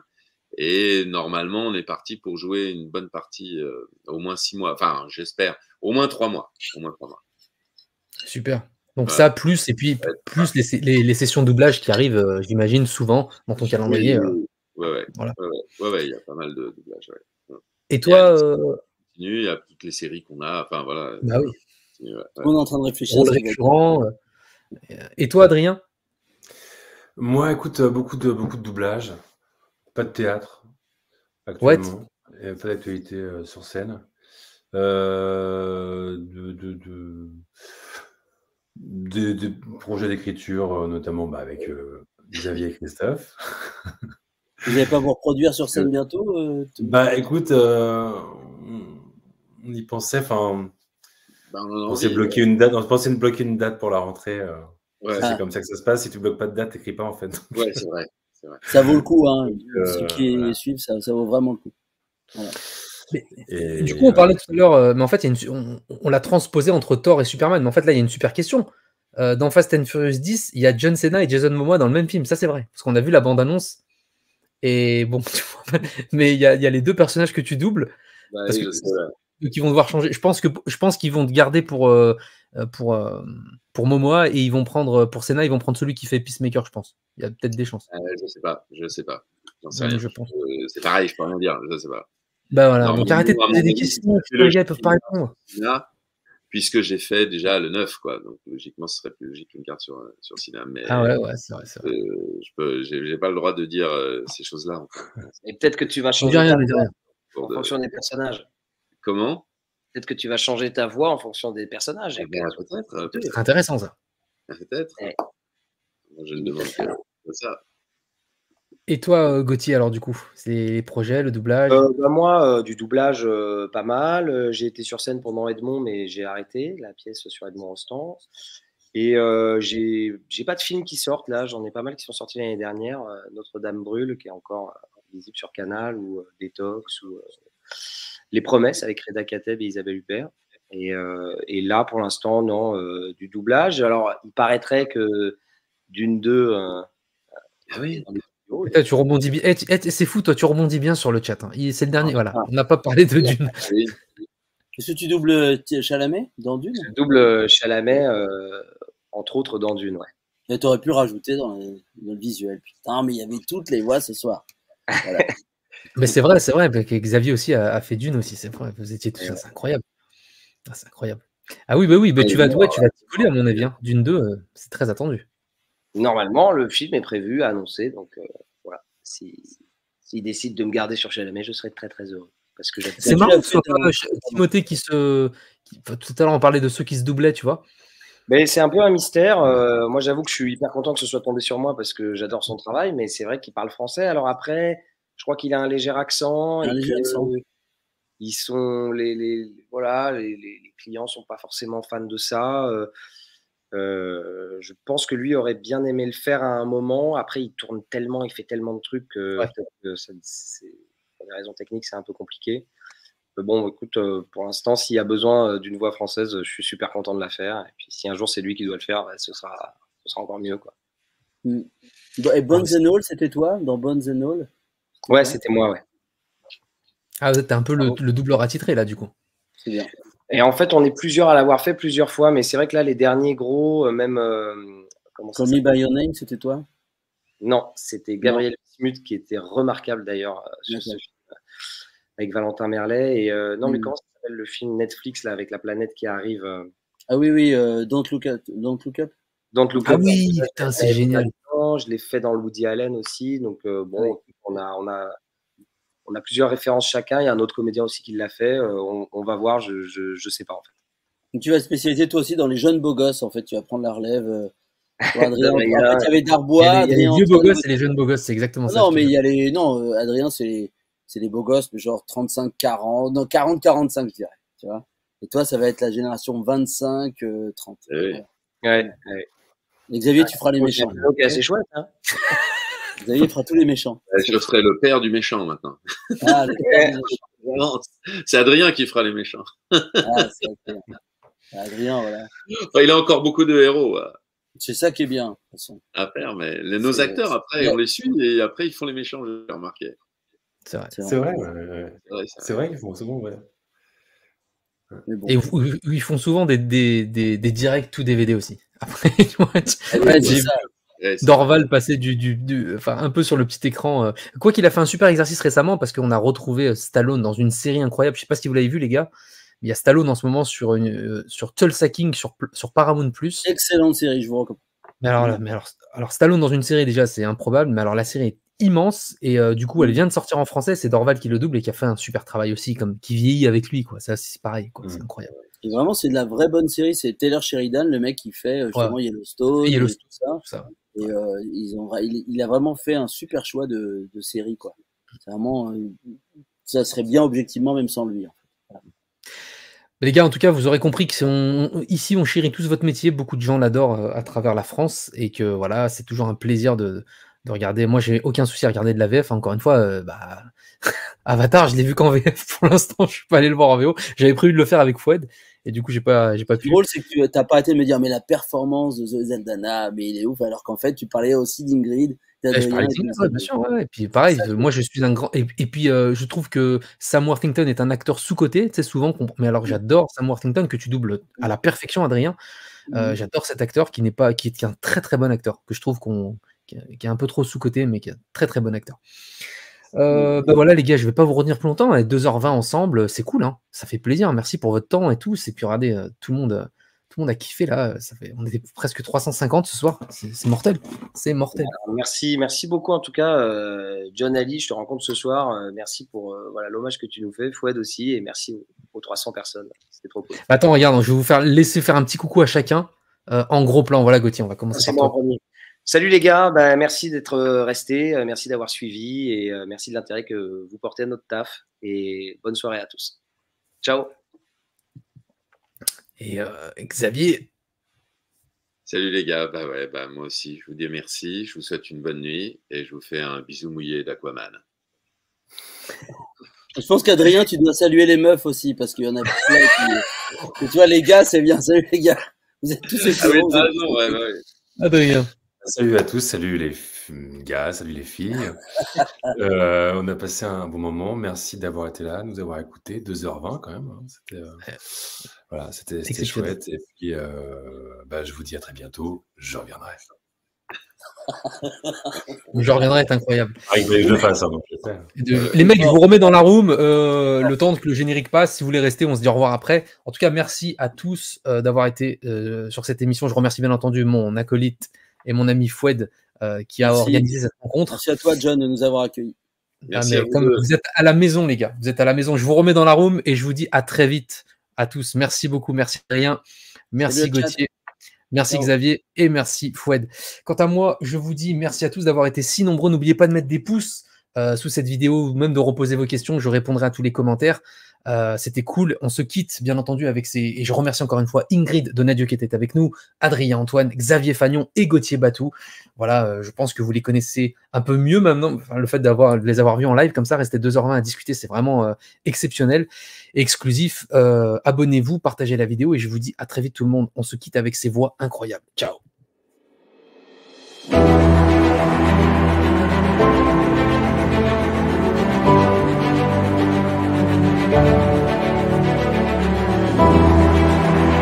Temps a une trame.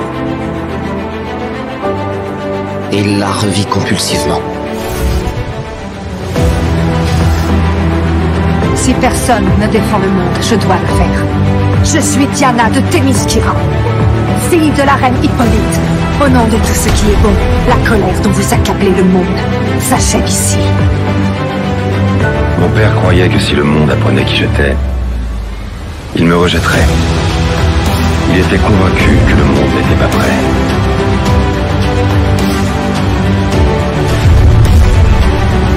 La mission comptait à mort. Je n'ai pas l'âme d'un chef. Je suis venu parce que j'avais pas le choix. Je suis venu sauver mon pays. Et les gens que j'aime.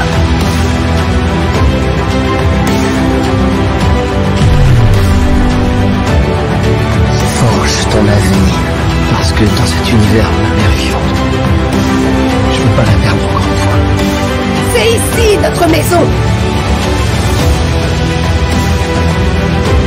Je te vois. Je te vois. Je t'avais donné ma parole. Que je reviendrai pour toi. Je trouverai un moyen de tous nous sauver. J'ai complètement brisé l'univers. J'ai créé un monde sans état humain. Il n'y a plus personne pour nous défendre.